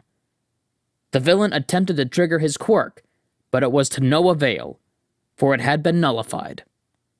The villain's eyes opened wide as he was yanked upwards aggressively. A heel crashed into his mouth and dislodged several teeth, spraying blood upon impact. Jumping away from the villain, the black haired man centered himself as the crowd of villains surrounded him. His body was now crouched in a combat ready stance. And the villains noticed that their quirks were not working. In frustration, they began jumping into battle, but were easily dispatched by the pro. Meanwhile, the shadow villain stepped forward and vanished into a portal before appearing near 13 and the students. The teens were getting antsy, knowing that their escape plan had been foiled, and a powerful villain was now challenging them. We are the League of Villains, and our goal is to snuff out the symbol of peace, All Might. The air grew cold as the man's words frightened the teens. As the shadows surrounded them, Bakugo and Kirishima launched into action. Bakugo's hands were primed for explosions, while Kirishima's fists were hardened and ready to deal heavy blows. But their actions were for naught, as their strikes went right through the villain. The dust settled, and the man was not harmed. But before the two could act once more, they and most of their classmates were consumed by the darkness. The teens vanished into the purple black smoke portals, leaving only some of the students of UA to face the villain. With his vision shrouded in darkness, Midoriya couldn't help but panic as his senses were drowned in nothing but shadows. Soon, the feeling of falling quickly overwhelmed him as he was spat out from the black portal over a man made lake. His eyes widened and bulged out comically as he could see several villains already in the water awaiting their prey. Thinking quickly, he transformed his body into slime and quickly condensed into a sphere, which caused him to sink into the water. His cyan coloring disguised him as his body made contact with the water. Just when Midoriya felt safe, from the dark waters, a shark like man struck at him and attempted to consume him. Due to the sudden environmental change, the boy's mind went blank as the jagged toothed jaws of the villain approached. Before the assailant could chomp down on the slimy sphere, a mighty kick connected with the jaw of the man, sending him down into the depths. After the initial shock wore off, he noticed that his savior was the frog girl, Tsuyu Asui. Pointing upwards, the green suited girl rapidly made her way up and out of the water, while Midoriya followed closely behind. Hopping out of the water, the amphibious girl landed onto a ship in the center of the man made lake. Just as his head poked out of the water, Midoriya found a flailing and nearly drowning Mineta, surrounded by villains. This video is sponsored by Skillshare. With the services Skillshare provides, you can get access to many in-depth tutorial videos on basically anything you want to learn. Each class that they have is bound to help you with your creative endeavors. Do you want to learn how to make videos like this one? Do you want to learn how to write scripts or edit audio? Skillshare has you covered. And with our link, you can have a 14 day free trial. So what are you waiting for? Click the link now and get 14 days worth of classes free. Link in the description below. I'm coming, buddy! shouted the slime sphere as he began to spin in place, displacing the water around him before shooting towards his friend's location. Gliding over the surface of the water, the slime boy crashed into the face of one of the attackers, ricocheted onto another, then another, successfully hitting them all square in the face. The speed of the strike caused the usually soft slime to impact the villains with similar force to a soccer ball being kicked by a pro athlete. Using the distraction, Asui launched her tongue out to grab the purple dwarf, rescuing him from danger. After bouncing off a final villain's face, Midoriya used the momentum to throw himself upwards and joined his classmates on the ship. After falling into Asui's arms, Midoriya formed a thumbs up in his slime sphere form. Nice catch, complimented the greenette, until he noticed how close he was to the girl's body, which quickly caused his sphere form to destabilize and melt right through her fingers before puddling on the ground. In response, the dark haired girl tilted her head in confusion and scratched her cheek as Midoriya attempted to reconstitute his human form. Sorry, gurgled the slime boy as his body recovered. His cheeks were redder than a tomato. All the while, Mineta shot daggers of jealousy at the closeness the two shared in the moment. Well, if you two are done being weird, what are we gonna do? Ribbit? asked the frog girl as she peered over the edge, looking down at the villains that observed carefully, who were waiting to strike. It seemed they were waiting for something, but what could it be? The freckled boy joined his companions and attempted to make sense of the situation. The boy began to mumble to himself, his classmates' voices being drowned out by his incisive muttering. Midoriya. Hey, Midoriya! The voice of the frog girl remained muted to the muttering teen, until a glob of slime hit him on the side of the head. The viscous, translucent ooze ran down the side of his face, as Midoriya blinked multiple times, having been forcefully taken out of his trance. After a few seconds, the freckled youth began to laugh and wiped the slime off before smiling at Asui. Sorry about that. Even though it's scary, Midoriya said, his gaze going back to the villains in the water, as well as the multitude of villains at the entrance area. We need to fight, but first, we gotta take care of these guys. The juniper haired boy punched his palm and furrowed his brows. A firm, determined gaze appeared on his face. I got a plan! The trio huddled together for a few minutes as the emerald eyed teen began to inform everyone of his strategy Mineta gave his friend a nervous thumbs up as sweat trickled down his face, while Asui did the same. Jumping onto the ledge of the boat, Midoriya turned around, giving his back to the water. Good luck! waved the boy as he fell backwards into the water before shifting into slime halfway down. Once in the water, the slime team began to spin in place and displace the water around him, as the villains noticed that the teen who had previously struck them had returned to their domain, they began rushing towards his location. As the villains homed in on his location, Midoriya rocketed towards one of the villains, bounced off the evildoer's head, and into the air. As the slime boy reached a high altitude, Asui's tongue stretched out and wrapped around the slime sphere, throwing him back down with full momentum and hitting another villain in the face. This action continued until most of the villains were either hurt or unconscious. When he was back in the air, Midoriya was caught by Asui, who pulled him and Mineta over the water and away from danger. While escaping the water zone, Mineta launched a barrage of his sticky balls, which attached to the villains, keeping them both afloat and stuck together. Elsewhere, Shoto Todoroki and Toru Hagakure were back to back, surrounded by villains. The bicolored teen held his stoic expression as his arm frosted over, ready to fight the onslaught of villains. The invisible girl held her gloved hands up, showing she was in a combat stance. Fists ready to fight. Stay out of the way. I'll handle these lackeys. The girl looked back, only to see a massive wall of ice encapsulate the villains in the area. Suddenly, from below, a villain emerged from the ground causing the earth to displace from beneath Todoroki. Unable to avoid the attack fully, the boy in white braced for impact by lifting an ice barrier to defend himself. At that moment, Hagakure's silhouette began to shine. A bright light radiated throughout her body, and tendrils of electricity sparked throughout.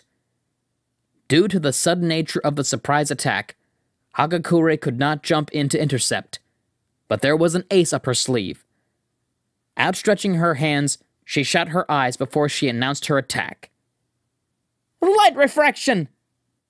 As an intense wave of light shot through the area, the electricity around the girl crackled as the blast of light shined around them, widening and reflecting off the ice, and causing a remarkable light show. The unprepared villain caught the bulk of the rays of light as his pupils shrank. His eyes made an attempt to shut as his retinas burned from the intense rays. Todoroki's eyes were half closed during the blast, but the light show was so intense that his vision was suddenly snuffed out. A great deal of the USJ was illuminated suddenly, which caught the attention of everyone. After a second had passed, the attacking villain wretched on the ground, his hands gripping his face, as tears of blood ran down his face. Falling back, Todoroki had his palm on his face, his eyes red from the exposure.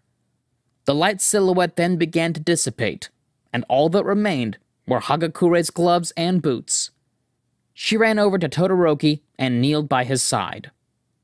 Oh my gosh, Todoroki, I'm so sorry. Are, are you okay? The voice of the girl was erratic as she placed her hand on the boy's shoulder, though his serious expression was not replaced with one of pain. I. I can't see, mumbled the teen as he lowered his palm, showing his reddened eyes with blank white pupils. While the teens attempted to recover themselves from the sudden show of power, Aizawa continued his fight against the invading villains. The consistent use of his quirk was straining his eyesight, which caused gaps to appear in his defense. Every now and then, a villain managed to land a hit. Taking advantage of a lapse between erasures, the man covered in hands decided to enter the battle. A group of villains began assaulting the teacher. Moving swiftly through the attacks, Aizawa managed to defend himself, but he had miscalculated.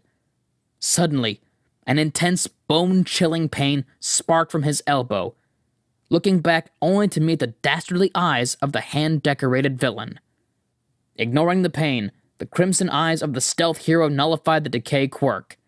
Then, following the erasure, a quick fist knocked the man with dried skin back, sending him to the ground.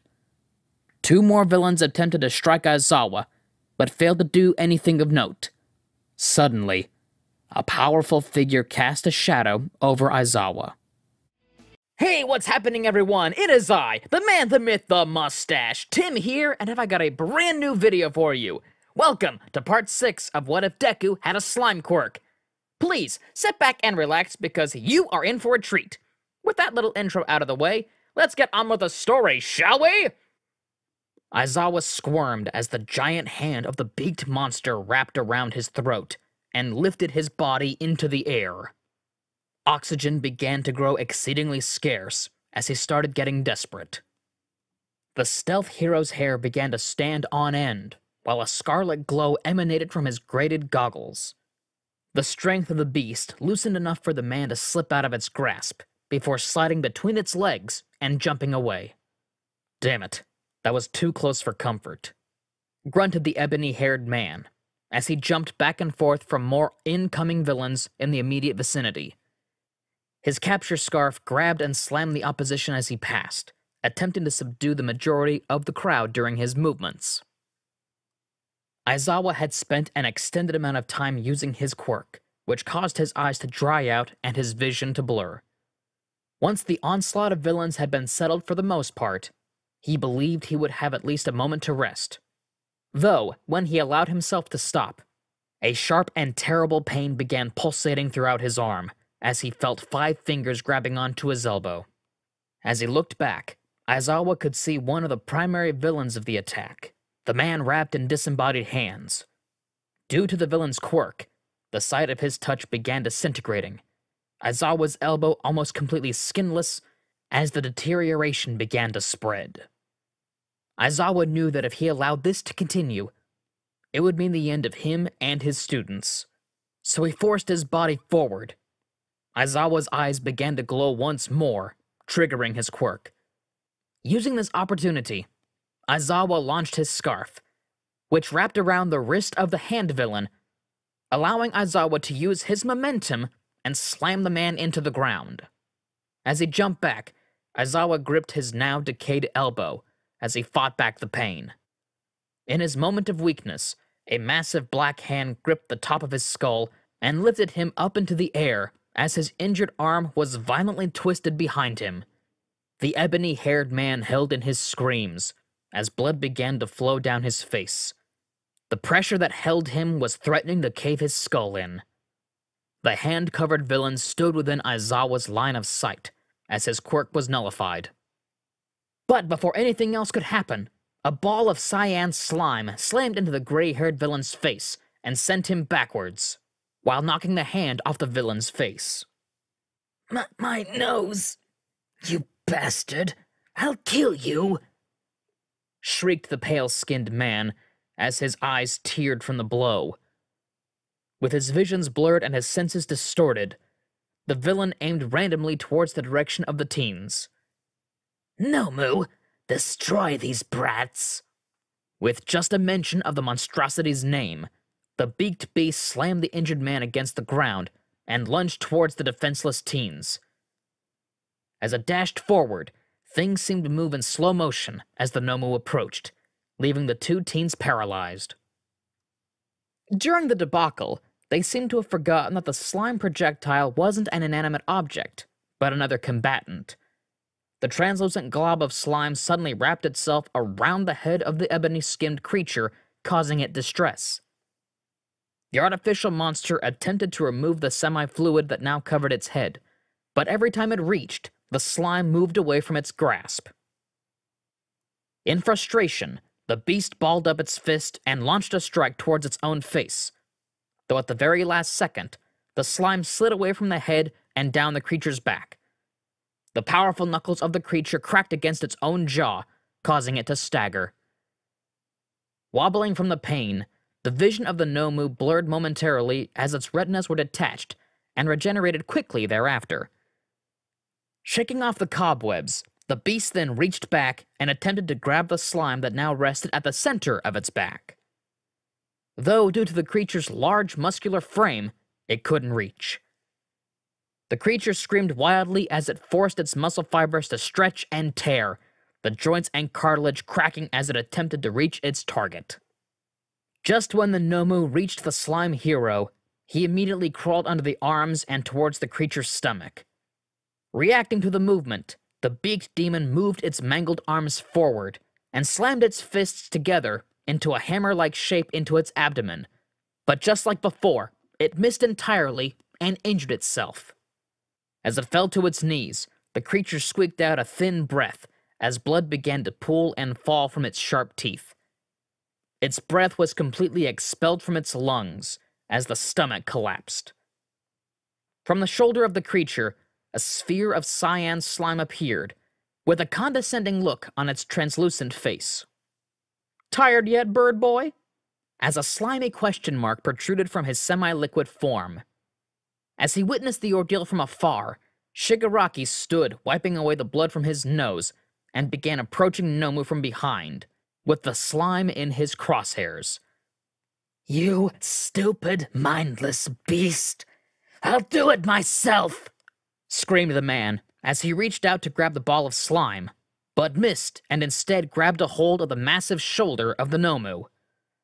Its shoulder and upper arm began to decay immediately, which prompted the anti symbol of peace to screech loudly while it reached for its decaying arm, and in desperation, tore it off from its socket, causing blood to spray all over the hand villain and across the ground. As it shakingly stood upright, the dismembered Nomu began to roar, while tendrils of muscle began to rapidly form from the torn shoulder. In a matter of seconds, its arm had regenerated. Its scarred black skin recoated the muscle, as if it had never been lost. Midoriya jumped into the air. His slimy eyes popped out of his head in shock. The two villains' attention then settled back on the slime boy, who was now in the shape of a mochi ball across from them. A wide grin formed on the face of the white haired man as he stretched his arms out and began to chuckle. Nomu, kill this arrogant brat! screamed the hysterical villain as the hulking monster rushed forward towards the slime boy once more.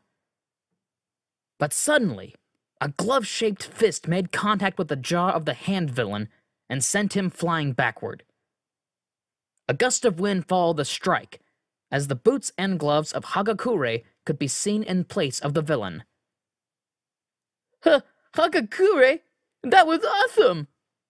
shouted Mineta, who finally snapped out of his trance like state as he witnessed his classmate come to their rescue.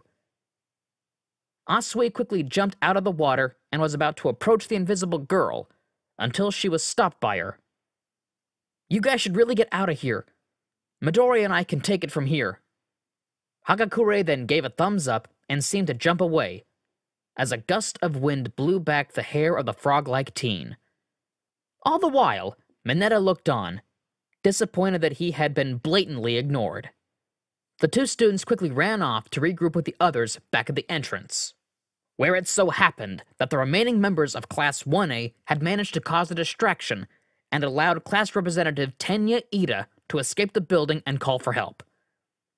As the teens faced off against the shadow villain, a familiar presence joined the fray the anger prone blonde Bakugo, as well as the scarlet haired Kirishima. You idiots are still fighting this asshole! shouted the blonde as his teeth were bared with excitement for the battle.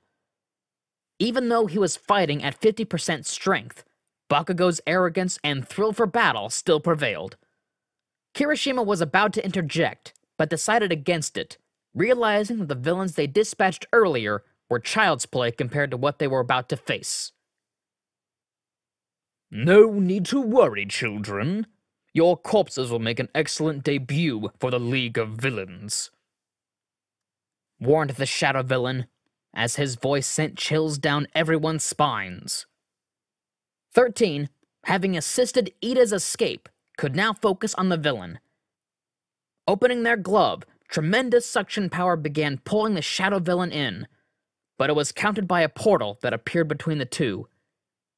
The exit portal opened behind the rescue hero and began to tear the back of their suit clean off. Seeing the damage 13 had received, the grouping of teens rushed forward in defense of their instructor. Somewhere in the distance was the bicolored teen Todoroki, who sat behind rubble out of danger, with a strip of cloth covering his eyes. Hagakure managed to put the teen down in a safe space, while she went to back up Aizawa and their classmates. Damn it, I'm useless in my condition, said the heterochromatic teen as he balled up his fist in frustration as a cool mist began to flow around his right hand. At this point, his eyes had experienced great trauma due to the powerful flash of light by the invisible girl. The special maneuver had saved them momentarily, but now their firepower had been affected, with Todoroki left essentially unable to battle. Even though he was blind, Todoroki made a barrier of ice. At least he could keep himself safe. What the hell hit me? shouted the hand villain as he began recovering from his random assault. Just when he managed to get to his feet, he was struck by an uppercut that lifted him in the air. Following the upward strike, a kick connected in his gut and sent him backwards. Anger continued building on the face of the villain as he gripped his stomach. Damn it all! Fight me like a man, you coward! spat the villain in frustration, while blood spilled from his mouth. How about a girl? asked the invisible teen, as she landed a flurry of punches that rocked the villain. To an outsider's point of view, the gray haired man was fighting the air, and the air was winning. His bloodshot eyes looked around in a panic, not knowing where the next hit would come, as the only thing he could see was a pair of gloves and sneakers that just floated across from him. Inconceivable! You brats aren't supposed to be this strong! Before the man could continue his vengeful tirade, a kick landed on the side of his head and sent him spiraling towards the ground. The invisible girl then followed up with an axe kick that landed right on the gut of the villain, causing him to lose his breath. Elsewhere, the Nomu stood across from Midoriya, who had formed his slime back to a humanoid form. Strange thoughts began to appear in the boy's mind as the color of his cyan body began to shift slowly to green. His hands were shaking as his eyes began to glow red. The slimy teen began to speak.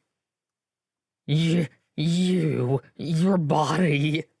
stammered the boy as the glow in his eyes intensified, while the tone began to deepen. You'd make a perfect skin suit! He screamed as he suddenly shot towards the beaked monstrosity. The green slime then formed into a sort of tendril that grabbed hold of the creature's face. Though the Nomu attempted to remove the slime, it began to move towards its open mouth, forcing its way down their throat. Soon after the slime had been ingested by the beast, after a moment of silence, the muscled behemoth reached and grabbed hold of its throat. The creature began to squirm uncontrollably as it slammed its head against the ground. Within the Nomu, the slime began to stretch and expand, filling in the entirety of the creature's respiratory system and nasal cavities. Though the monster attempted to scream, only a deafened gurgle could escape it as it began to squirm on the ground, the loss of oxygen shocking its system. In deep desperation, the creature began clawing at its chest, ripping the flesh that would quickly heal. Its fingernails broke the surface, trying to rip its own chest open, in order to remove the foreign substance that clogged its body. The pulsating, exposed brain of the creature began to discolor and twitch, as the lack of a working respiratory system began killing the brain cells of the beast. Blood violently squirted out of the exposed chest of the Nomu, as its movements soon slowed. Its eyes bulged out, veins popping from the distress. After several minutes, the muscular being stopped moving, and its brain now a dull white, while its eyes glossed over. Its heart stopped. Asui and Mineta had seen the horrific encounter from a distance and began shaking in fear. The dwarven boy's mouth was agape, tears rolling down his cheeks as he feared for his very life.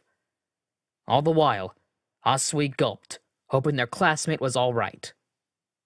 From the open mouth of the corpse, the green slime began to flood outward, pooling on the ground. The semi-liquid began to grow until it returned to its human form. Midoriya stood tall above the monster, his eyes still red as a look of frustration and disgust rested on his face. The freckled teen spat towards the creature as he began scanning the area for the other villain. Midoriya! The sound of his name caused the juniper-haired boy to jerk his head back and lock eyes with Asui, who stood with a defiant look. Upon realizing his friends were safe, his red eyes flickered back to their emerald tone. His expression softened immediately. Hey guys, are you okay? yelled the hero in training as he waved his hands in the air and began approaching his friends. Mineta's nerves began spiraling out of control. The vision of the greenette taking the life of that creature made him fear for his own life. Taking a step back, the boy's attempt at an escape was thwarted by the frog girl, who held onto his arm. Just when Midoriya was about to reach his classmates, a scream grabbed hold of his attention. During the ensuing battle between the hand villain and Hagakure, the evildoer managed to put his hands on the girl, decaying part of her arm. The effect of the quirk caused the spot to now contrast with her form, as it was now a visible blackened spot, where a momentary touch had landed. With no hesitation, the juniper-haired boy quickly morphed into a slime state and dashed to provide backup. As the pale haired man was about to lunge forward and place his hands on the semi invisible teen, a wall of slime seemed to splash between the two like a wave. Though as the hand of the villain made contact, nothing occurred to the congealed construct. what? That's impossible! spat the man, as he forced both his palms towards the slime. But just as before, nothing occurred. Taking the opportunity, Hagakure ignored her injury and went around the slime and managed to land a powerful kick that sent the villain back, colliding into a grouping of villains. The villains, now without their secret weapon, were at a disadvantage. The Shadow Villain, who was now barely able to fight back against the teens due to them locking down on his metal brace, called out. Master Shigaraki, It's best we take our leave. The hand villain glared daggers at the heroes in training as he ground his teeth and scratched his neck raw. He knew full well retreat was the only option. Promptly, the misty portals began opening once more and allowed the mobile villains and the one named Shigaraki to escape. This isn't the last you've seen of the League of Villains. You brats will pay. Along with your symbol of ineptitude! Warned the man, though his gaze settled on Midoriya. And you. I'll see you again. Threatened the villain, as he managed to escape just seconds before the doors to the USJ were blown wide open by an angered All Might. His usual wide grin had been replaced by a face of resolve and violence. Though his expression quickly changed to that of confusion, as the only villains left were the ones defeated and unconscious. Have no fear, for I am here? Soon after, additional heroes, paramedics, and police began to arrive on the scene. Dozens among dozens of villains were put into shackles and sent away, while Midoriya sat in a corner, a blanket wrapped around his shoulders. The emerald-eyed boy looked on as the heroes transported the lifeless body of the Nomu. Due to the nature of the attack, the teens were not charged for using their quirks in battle, as it was in self-defense. Although, detectives would approach the boy, for he was the only one to have taken a life. The injured heroes, Aizawa and 13 were carted away in an ambulance, though the paramedics held high hopes of a speedy recovery. After the teens were sent back to the infirmary at UA, the ones in good health were allowed to return back to their homes. Most of the teens only received minor wounds, but there was one casualty amongst the members of Class 1A. Todoroki had been seen by Recovery Girl and additional medical staff regarding his failing eyesight. Their diagnosis was that the boy had a temporary loss of 90% of his eyesight due to the intense ultraviolet light exposure. They surmised the boy's vision would return, but it would be several weeks until it could fully recover. Thanks to the old woman's quirk, the son of Endeavor had managed to leave with his eyesight at 70%, though he would have to wear protective sunglasses for the time being. At the gates of UA, Todoroki was about to get in a car that would return him home, until he heard a familiar voice call out to him. Not being able to see properly, the boy didn't bother to move his head to find the source, knowing that the person calling out was also the person who placed him in his predicament. Oh my gosh, Todoroki! I'm so sorry! I can't believe I did this to you! Please forgive me! It's fine. I'll be alright. At least we're alive. The two said their farewells as Todoroki was driven away, leaving Invisible Girl all alone at the school grounds. A large hand rested on the girl's shoulder. The teen glanced back and could see it was All Might. The two shared a smile before walking off to discuss what had occurred in detail. Later that night, Midoriya lay on his bed, his eyes fixated on the oscillating fan above him. The image of the dead Nomu haunted his consciousness, while the words of the boss villain still rang in his ear. The boy laid still for hours. The result of his actions had haunted him. Worse was the fact that he had no recollection of his actions once he faced the beast one on one. What on earth happened? What have I become? Whispered Midoriya as his exhaustion finally overwhelmed him and he fell into a deep sleep to recover his energy for the following day of his heroic education. And that's our video for the day, so thank you all for watching, and I hope you enjoyed it. Before I go, there's a little bit of housekeeping. First, We the Celestials has many other channels for your entertainment and viewing pleasures. All the information you'll need is right below in the description. So please, feel free to check out all the other incredible content our team creates. Second, on behalf of We the Celestials, I also want to thank everyone involved in the production of today's awesome content. Their details are also in the description. So that's it for today's video, so thank you all for watching, and I hope you have an amazing day. And as always, be kind to yourselves, be kind to others, and stay awesome. This has been Tim, mustache out. Traffic events at the USJ, the police and UA staff convened together to debrief the facts of the criminal activity. The meeting was headed by both Inspector Naomasa Tsukauchi and the principal of the academia, Nezu. The bipedal bear-like man sat with a gentle smile on his face, seemingly blissful during this stressful investigation. Thank you for meeting with us today, Detective. It is imperative we find out how these events transpired and how to prevent them in the future, said the principal as he raised his paw in the air, his childish demeanor shining through his words. A small grin formed on the face of the stone-faced detective, who shuffled a folder in his hands. Yes, I agree.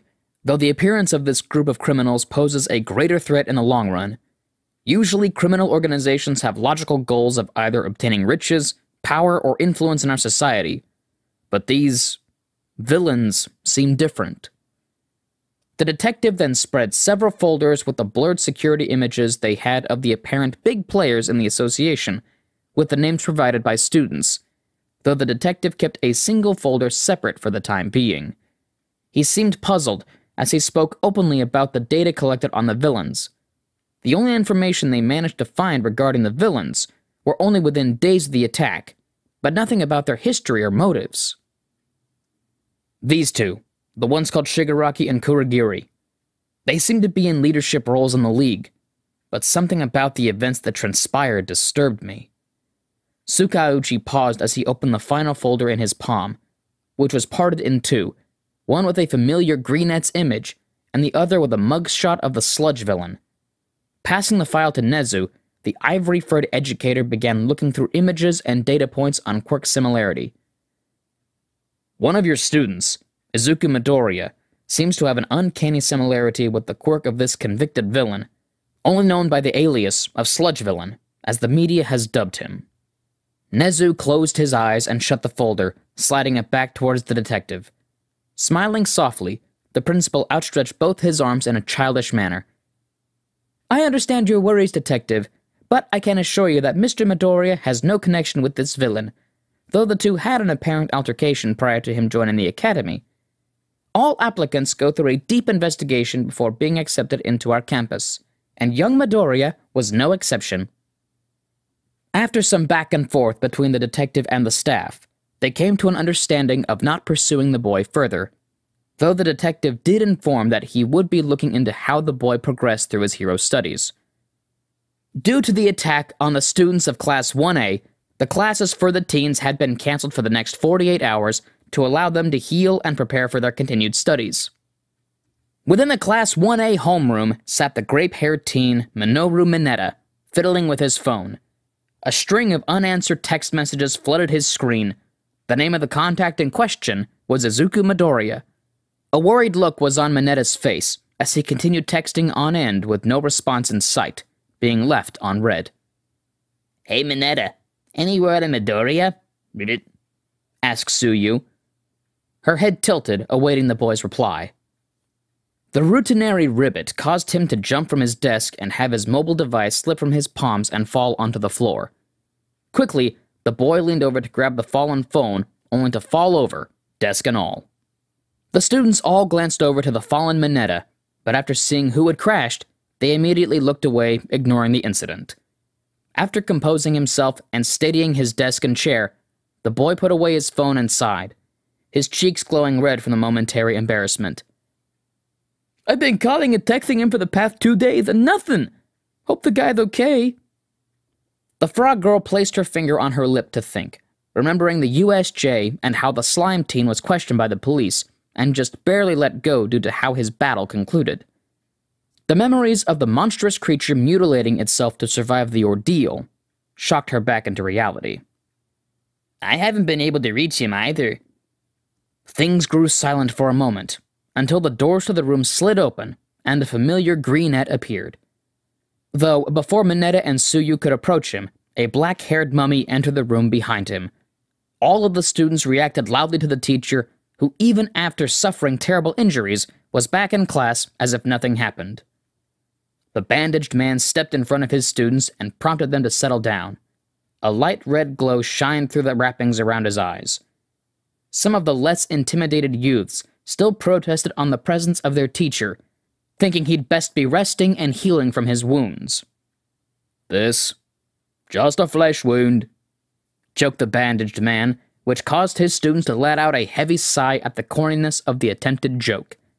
After the murmurings and protests ended, the wild haired man cleared his throat before finally starting the school day. Now that the excitement is over, I have an announcement. In two weeks' time, we'll be having the annual UA Sports Festival. Some of the hero hopefuls began protesting about the reasoning for the festival taking place, since just two days ago they were attacked by villains. The teens were concerned that the security of the school might still be compromised. Was it really such a good idea? Enough. For that very reason is why we're having the sports festival.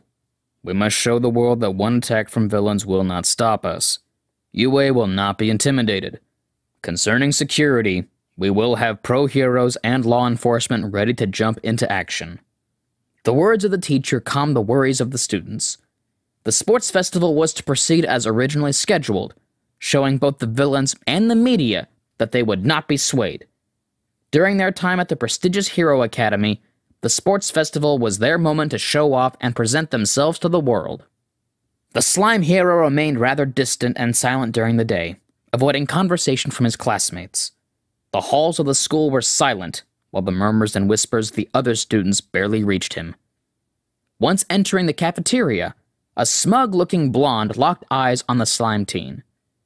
So, the infamous villain killer shows his face, shouted the teen as he approached the solitary greenette, a small drop of sweat rolling down his cheek as he was being put on the spot. Gulping audibly, the emerald eyed boy attempted to reply, but was interrupted immediately. It seems UA made a mistake, putting such a low life like you in the hero course? What a joke! Is this the pride of 1A? A murderer? The obnoxious teen began laughing loudly, which made a small crowd form around them. The blonde continued goading on Midoriya to no end, stepping into his comfort zone, stepping forward with his foot on the bench. Come on, step up, killer! The teen bit down hard, his teeth grinding together while the color of his eyes began to flicker from green to red in rapid succession. His breathing became erratic as dark thoughts began coursing through his mind. Though before things could continue to escalate, a massive fist hit the blonde, knocking him out. For crying out loud, Monoma, what is wrong with you? yelled an orange haired girl, grabbing the unconscious blonde by the jacket. The girl sighed heavily as she began dragging the aggressor away. She bowed slightly towards the stabilizing greenette as a form of apology before leaving the area completely. Midoriya's eyes began to well up with tears as he got up from the lunch table and promptly exited the mess hall, the bell ringing loudly soon thereafter. Through the day, the slime quirk user went missing from his classes, preferring to spend his time on the roof of the school. A saddened look persisted on his face. While he saved his classmates, he indeed took a life no matter how monstrous it was. The lack of memory he had of the situation haunted him, but the words of the one called Monoma felt like daggers sinking in. Light tears rolled down his face as he sobbed alone, his body losing its stability as it jiggled about. The door behind him began to creak as a familiar purple teen appeared. Midoriya quickly wiped the tears away, but the redness and bloating remained, obvious signs of his saddened state. Mineta slowly approached Midoriya and tugged at his pant leg, prompting the teen to look down in his direction. Hey, Mineta! What are you doing here? The freckled boy then forced a smile to appear on his face, but it was unconvincing. While the grape haired teen had been frightened to no end during the USJ incident, he had two days to think about the situation. His friend had saved his life, not once, but twice in the same day, and his fear was the last thing he needed. The events had struck a nerve, but he wouldn't allow Midoriya to go through it alone. Man, you saved my butt! Thanks for everything! And for being my friend. The perverted teen smiled brightly and raised his thumbs up towards his friend, trying to comfort him. Since the first day of school, the greenette had suffered some sort of bullying, somehow even more intense than in years prior. His newly found friendships were truly a beacon of light in the dark days. In response, Midoriya smiled, his eyes still puffy, and reciprocated a thumbs up back at the boy. After some convincing, Midoriya returned back to the remainder of his classes, getting chastised heavily by Aizawa for skipping some classes. At the end of the school day, Midoriya and Mineta said their farewells and split off into opposite directions.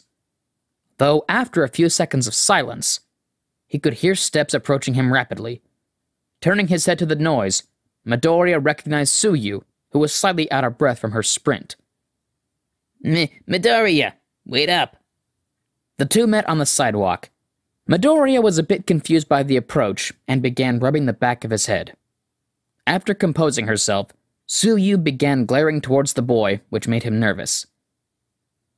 You, you're a real jerk, you know that? Said the girl as she pointed towards Midoriya, who began blushing and sweating profusely from the comment. The amber light of the sunset illuminated the two as cars passed by. A slight tension built in the air. It's rude not to answer your phone, Ribbit. Along with Mineta, the amphibious girl had also sent a barrage of texts towards his phone, though, unlike Mineta, it was a normal amount of texts. Due to the mental and emotional stress that Midori had experienced after the incident, he remained radio silent to all of his newly found friends. Look, I wanted to. I want you to know that those guys at school are jerks, and you shouldn't listen to them, Ribbit. Midoriya's gaze directed itself towards the ground, seeing that once more another friend was attempting to cheer him up. The feeling of ineptitude and powerlessness in the situation had gotten to him. How was he to be a hero when he allowed things to get to him this way? And back at the USJ, you were my hero. Thanks for saving me. The girl finished her sentence with a warm smile, a light tear glimmering from her eye. The greenette's body composition immediately began to destabilize. The color of his body shifted from blue to green and back to normal in quick succession. Though before anything else could happen, the honking of a horn snapped him back to attention. A man with dark skin and webbed hands began waving from his driver's side window towards the amphibious teen. The two glanced back, only for Tsuyu to recognize her parents, who had appeared to pick her up. Take care of yourself, Midoriya. See you tomorrow, hero said the girl as she waved towards the greenette before hopping in the vehicle, driving off. Midoriya waved the frog family goodbye as a seed of resolve began to bloom once more in the teen. For the next two weeks, Midoriya and the other students of Class 1A trained their bodies and minds for the upcoming sports festival. The pressure was building for what was to come, and soon enough, the day was finally here. Arriving at the stadium, Midoriya was dressed in his UAPE uniform that had been inlaid with materials similar to that of his hero costume, to avoid any national embarrassment in front of the TV cameras.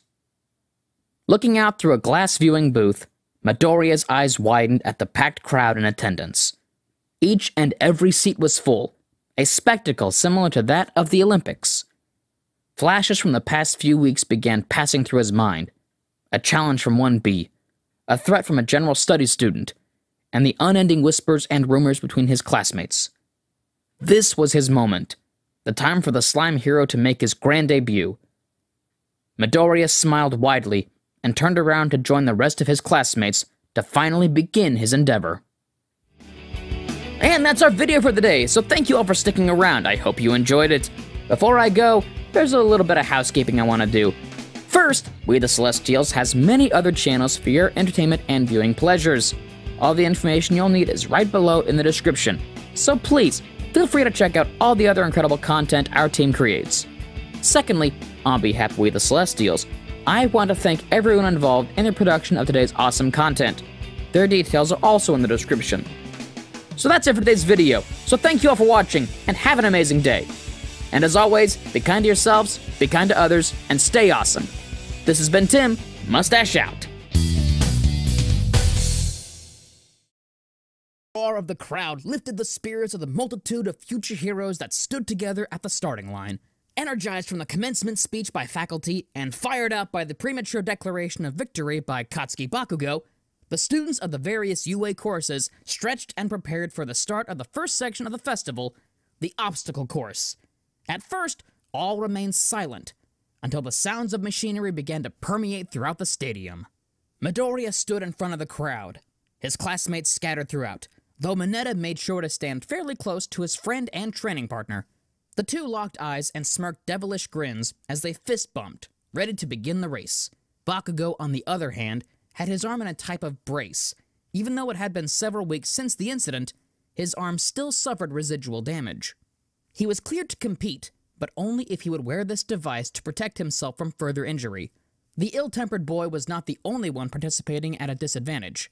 Shoto Todoroki also was participating in the race, wearing special goggles that were tinted to allow him to see. The bichromatic teen's vision was still dampened from the USJ attack, though it had recovered to at least 60% health by the time of the sports festival. A tremendously loud bell rang throughout as massive mechanized titans began to rise from the ground approaching the teens.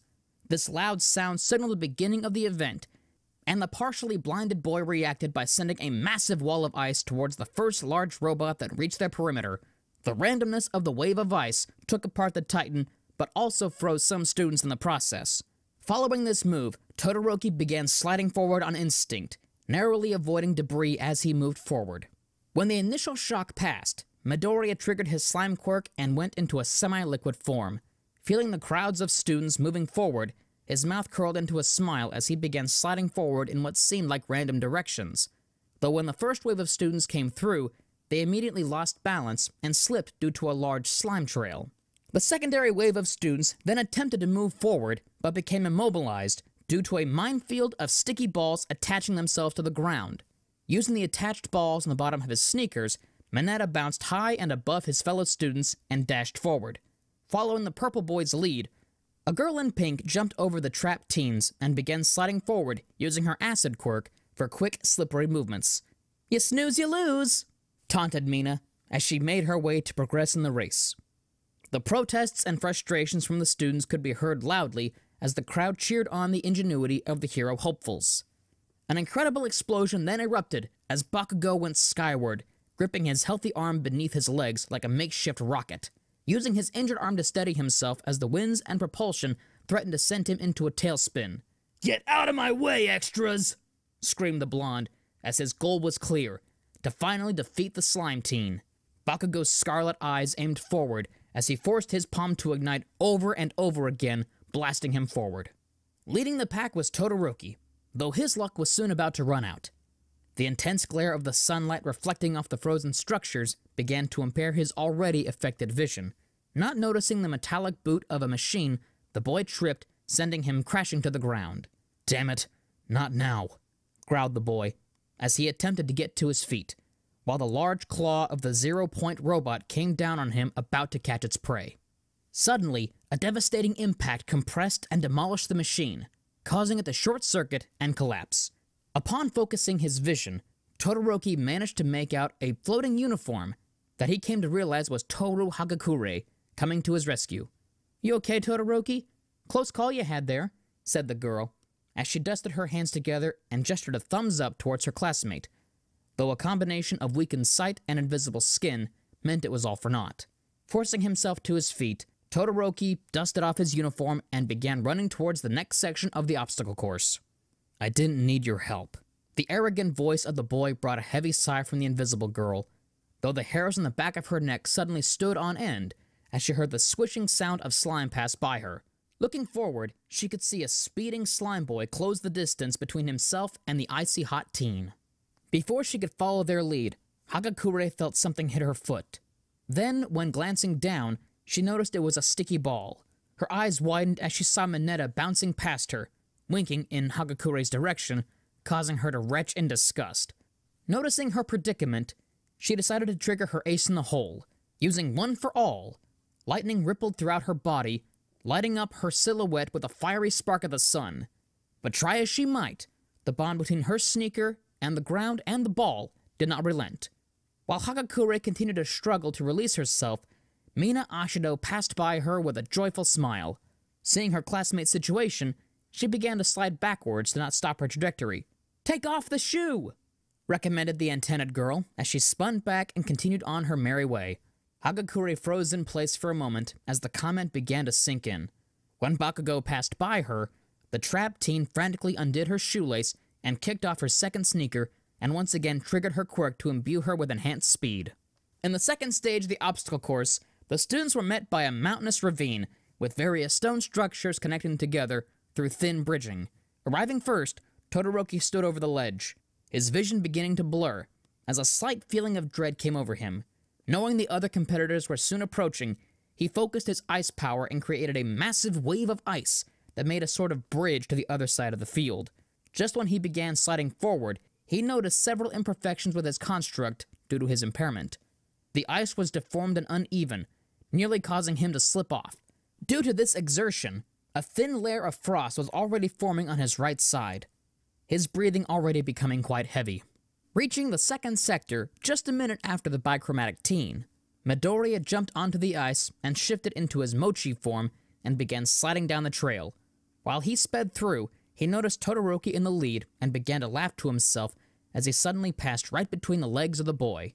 The surprise of being overtaken caused the teen to lose his focus and stumble, losing his balance and beginning to spin out uncontrollably. Sorry!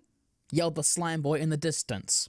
All the while, Todoroki managed to grab onto the ledge of one of his structures and kept himself from falling into the abyss. The teen forced himself back onto the bridge and took a moment to breathe until he saw that a purple dot began approaching, along with explosions and a small crowd of students. Damn it, grunted the broody teen as he forced his legs to sprint forward before anyone could pass him once more. In the final zone of the obstacle course, Midori was met by a large sign that read, Danger! Mines! with a cartoonish pink skull in the center for decorative flair. This is gonna be a problem, murmured the teen as he began his careful trot through the minefield. Close behind was Todoroki, who immediately rushed past the nearly snail-paced Greenette. Before Midoriya could warn the teen, a mine erupted from beneath their feet, sending Todoroki flying back and crashing towards the ground. The slime boy's eyes popped out in comedic fashion, shocked at the event, and began to jiggle from nervousness. After the explosion, Bakugo managed to catch up to the pack leaders and stopped short of entering the minefield. His brows were furrowed as a serious expression rested on his face. For the moment, personal rivalries did not matter. All that mattered was victory. Analyzing the minefield, he began slowly stepping through the area, carefully avoiding the explosives. Mineta finally managed to bounce into the scene, but just like Bakugo, he stopped dead in his tracks before entering the danger zone. Minefield? Who decided this was a good idea? shouted Mineta as he gripped the purple spheres on his head tightly in frustration. Hearing his friend's complaints, Midoriya turned around and began waving at the great boy. The dwarven teen gulped hard and carefully began following the slime trail left behind by the emerald-eyed boy. Hearing a commotion in the distance, the four teens could see dust being lifted as the invisible girl was dashing towards them, followed by Ashido, who was sliding forward using her acid. From behind the two, the remaining students ran at full speed, attempting to complete the race. This prompted the four 1A students to rush their pace, Bakugo panicking as he pointed his left arm behind him and set off an explosion that began triggering a chain reaction that caused multiple mines to go off simultaneously. Midoriya saw his old friend's intentions and immediately reacted by stretching his body and wrapping around the approaching Mineta. Covering him sort of like a dome, his slime turned green when the explosions were set off and the elasticity of his shielding strengthened only slightly. When the initial shock passed, the slime quirk user jumped off his friend and slowly reformed his humanoid slime body. The short statured boy's mouth was agape for a second, before shaking his head to focus on the task at hand. Since when can you. Never mind, let's go, said Mineta as he began bouncing towards the finish line behind Bakugo. The still rather stunned Midoriya steadied himself as he began dashing towards the end, as some of the teens rushed through the minefield, seeing the end of the first event approaching. The first to finish the race was Bakugo, followed by Midoriya and Mineta, who crossed simultaneously. Todoroki, managing to compose himself, finished the race shortly after Mina and Hagakure arrived and completed the event. In the end, a total of 42 students made it to the second stage of the sports festival, including the entirety of Class 1A. All right, everyone, congratulations on getting this far. But now, it's time to see how well you can work as a team, announced the X-rated hero Midnight, as she posed with her whip snapping in the air loudly. The dwarven purple teen couldn't help but stare lasciviously towards the educator. Noticing this, Midoriya grinned and kicked the boy behind the knee lightly, causing him to lose balance and tumble. The tomfoolery by the two teens was met by intense glares and a rather loud shushing by their class representatives, which made the two focus on the announcements. The next event we call the Cavalry Battle, Midnight said, as she informed the students that they would be given headbands with scores based on their placing in the first event. There would be one unique score that was provided to the winner of the race, worth a total of 10 million points. Bakugo would be awarded this headband and had been made the main target for all the participants. You now have 15 minutes to make teams with no more than four members. Time starts now. The students began rapidly rushing through the arena, attempting to build their respective teams. The Slime Teen and Pop Off user immediately decided to team up. The Frog Girl Tsuyu also approached them to join. Thinking carefully, the three began to huddle together to make a game plan, until the pink haired Mina jumped in, asking to be the final member of their team. Sure, sure. Uh, the more the merrier, said Midoriya, stammering from the sudden appearance. A strange nervousness overwhelmed the freckled youth. Now, with a squad of four, Team Midoriya had been fully formed and ready for the second stage. Across the field, the fiery blonde had his own team already secure Uraraka, Kirishima, and Tokoyami, an intimidating squadron. All the while, Todoroki approached some of his available classmates and built a team consisting of Momo Yaoyorozu, Denki Kaminari, and Tenya Iida. His teammates did voice their concerns as the bichromatic teen insisted on being the one lifted up. Todoroki, with your condition, is it wise for you to take up this role? questioned Yaoyorozu, her hands balled up into soft fists pressed against her chest. The girl's worried expression would be mirrored by the others, who lacked confidence in the partially blind youth's abilities. His performance in the first round, in addition to the doubt of his teammates, caused frustrations and anger to boil over within the boy that came out in hateful glares that silenced the group. I'm fine. They need a handicap to even compete with us, growled Todoroki in an uncharacteristically cocky tone, though this was all a guise to hide his insecurities, as he was truly doubting himself, but refused to appear the fool, especially with his father watching. Though still unconvinced, the teens relented and propped the icy hot teen above them. On Midoriya's team, Mineta was chosen to be the one elevated, due to him being vertically challenged. Though he was nervous, the encouragement from his tight knit friends group helped him ease the nerves. Tightening his headband and gulping hard, Mineta looked on as he was being held above, ready for battle. All right, kiddos, time's up. Get to your starting positions, announced Midnight as she snapped her whip in the air, which caused some of the boys in the competition and crowd to blush at the seductive instructor. Mineta especially let a small trail of drool slide off his chin and onto Midoriya's head.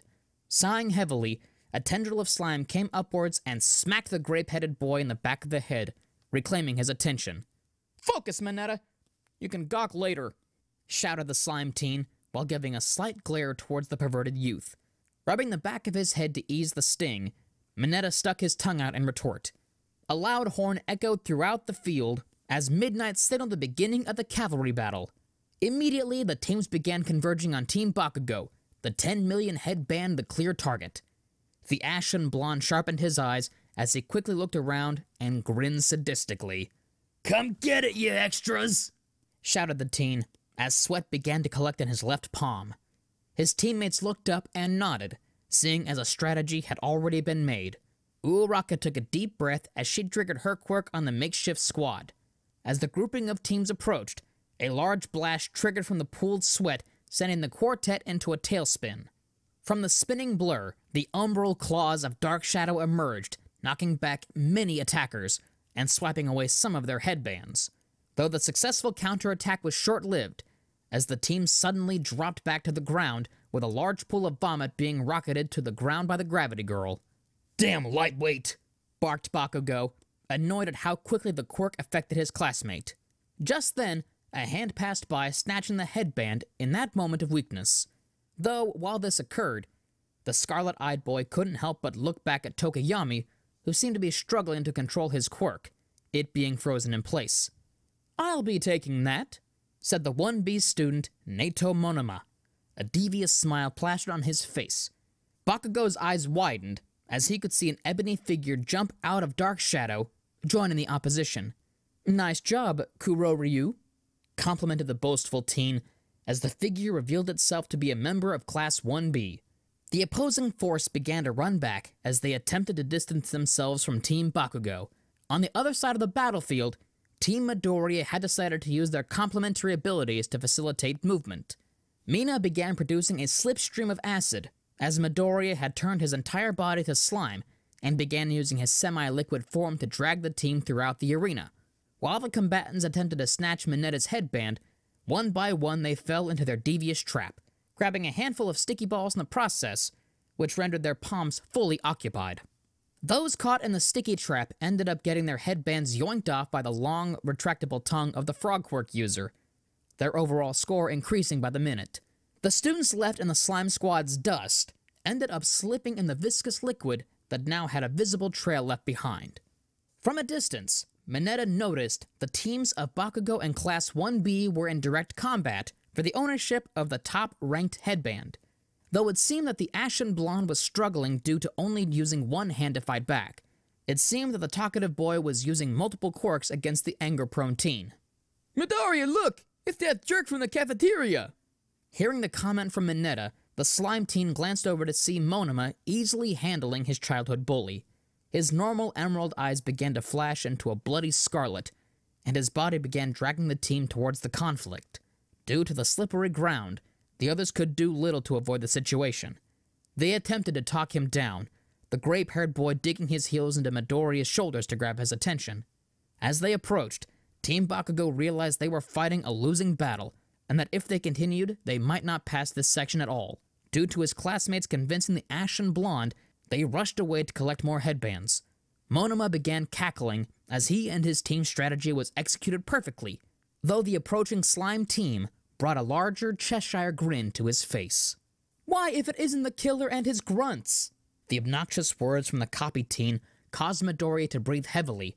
All the while, his slime shifted to green. Tendrils of green slime began growing from the boy's body, which caused the dwarven rider great distress. Come on, try it, villain boy. Everyone's watching. Monoma taunted, while his team began getting uncomfortable at the exchange. Once again, Monoma had gone much too far. As they approached and the violent intentions of the slime youth became obvious, a voice of reason whispered in his ear, Slime boy, chill out. You're too cute to be a villain. The words from Mina caused Midoriya to stop in his tracks, his body suddenly jiggling as his eyes shifted back to green and his complexion changed to a bright red. The word cute shocked the boy to attention, the violent tendencies forcefully suppressed. Seems that worked. Now let's get their headbands. Mina smiled brightly as her black scleras locked onto Team Monoma before launching an acidic slipstream in front of them to speed the team up. Midoriya, still trying to compose himself, began stuttering as his feet turned to slime once more to help the movement. The team rapidly approached the copy teen and his teammates, suddenly drifting towards the team and surrounding them in a circle of slippery slime. Mina then launched an acid spray which was blocked by an invisible air shield, though from the side, a glob of green slime was also spat in their direction. The slime projectile was once again blocked by another air shield, which seemed to come from the rider.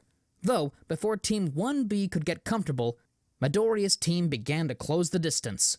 His entire body became slime, and two tendrils shot from his chest as the cyan slime arms reached towards the cocky blonde.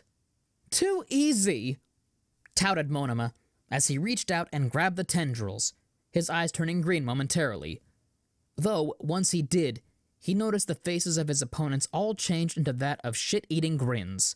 Monoma looked down at his palms as his entire body began to dissolve, his face drooping as his body turned to cyan slime.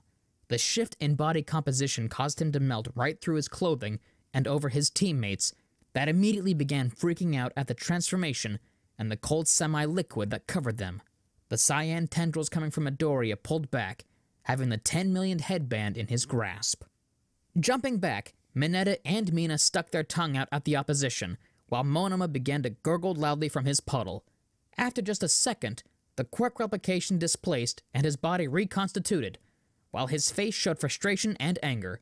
That is cheating! How dare you? I knew you were a villain! Monoma began screaming loudly, catching the attention of the crowd that suddenly grew quiet. A cool breeze passed between his legs, which caused goosebumps to emerge from the boy's skin. He glanced downwards and noticed he was naked. He screeched loudly in embarrassment as the crowd began to roar with laughter, which echoed throughout the arena. My, my! It seems we have a streaker on our hands, said Midnight through the speakers, which caused the already embarrassed boy to turn red, while his team surrounded him to allow the privacy for him to get his uniform back on. Elsewhere, Team Todoroki managed to remain steady, taking advantage of the wide range of the bichromatic teen's ice quirk. They managed to freeze much of the opposition in place. Knowing their score was not increasing fast enough, Todoroki came to the realization they needed to go for the top prize if they were going to win. Iida, we need speed, Todoroki said, which got the attention of the speedster, who grabbed hold of his teammates and began focusing on his engines. Suddenly, a blue flame began shooting from his calves, and his recipro burst roared to life, blasting them forward towards the competition. The 1A students blasted through the field, attempting to grab the headband that had recently been appropriated by the slime teen. Todoroki's hands were spread out as he grabbed headband after headband from many students, though many got slaps instead during the motion. At breakneck speeds, they reached the slime teen, but thanks in part to the short stature of Mineta and the poor eyesight of the bichromatic teen, which caused Todoroki to miss by several inches. Just then, the time had expired, and a loud horn blasted through the arena, bringing the teams to a halt. Team Todoroki skid to a stop as a light smoke lifted from the calves of the class representative. The icy hot boy gripped the acquired headbands tightly, frustration seeping through him. His goal was absolute dominance, and once again, his plan had failed. Todoroki, it's oh, enough! Todoroki interrupted Yaoyorozu as he jumped off of his elevated position, throwing the headbands towards his teammates. The boy stomped away, grinding his teeth together as anger flowed through him, his fists so tight that his knuckles turned white. Yaoyorozu looked on, watching her clearly disturbed classmate leave them be. The announcements for the next round were yet to be spoken. Todoroki, mumbled the ebony haired girl, her hands tight against her chest in concern. Midnight announced the cavalry battle had concluded through the speaker system. The points would then be tallied, and the top four teams would proceed to the next round. After a few minutes, it had been announced that the winners of the second round were the team of Midoriya, Mineta, Mina, and Tsuyu. The quartet celebrated loudly until they were promptly told to control themselves as the cameras were still rolling. For the next hour or so, recreational games were performed for the entertainment of the masses, allowing the contestants time to rest their bodies for the upcoming struggle. Time had finally come for the final event of the sports festival, the fighting tournament. Midoriya and Mineta stood alongside their fellow UA classmates as they waited anxiously to know who they were up against. As Midnight gestured towards the large display showing the brackets for the tournament, the color of Mineta's face washed out and he became pale as paper. The combatants had been decided, and the first round was shocking to say the least. The brackets were as followed Ochaco Uraraka versus Tsuyu Asui, Fumikage Tokoyami versus Momo Yaoyorozu, Hitoshi Shinso versus Tenya Iida, Eijiro Kirishima versus Tetsutetsu, Denki Kaminari versus Ibara Shiozaki, Mina Ashido versus Toru Hagakure, Izuku Midoriya versus Shoto Todoroki, and the final fight of the first round, Katsuki Bakugo versus Minoru Mineta. The teens in attendance were obviously anxious for the upcoming fights, but no one held the pressure more than Mineta, who felt as if he was about to urinate himself.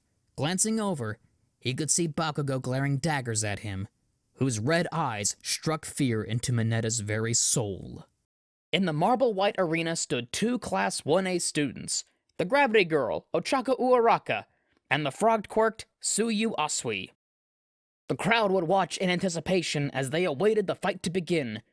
The two girls focused on one another, the arena feeling like an empty stadium for the teens. By making it this far into the sports festival, their chances of being scouted by top hero agencies had increased dramatically, but victory would assure their success.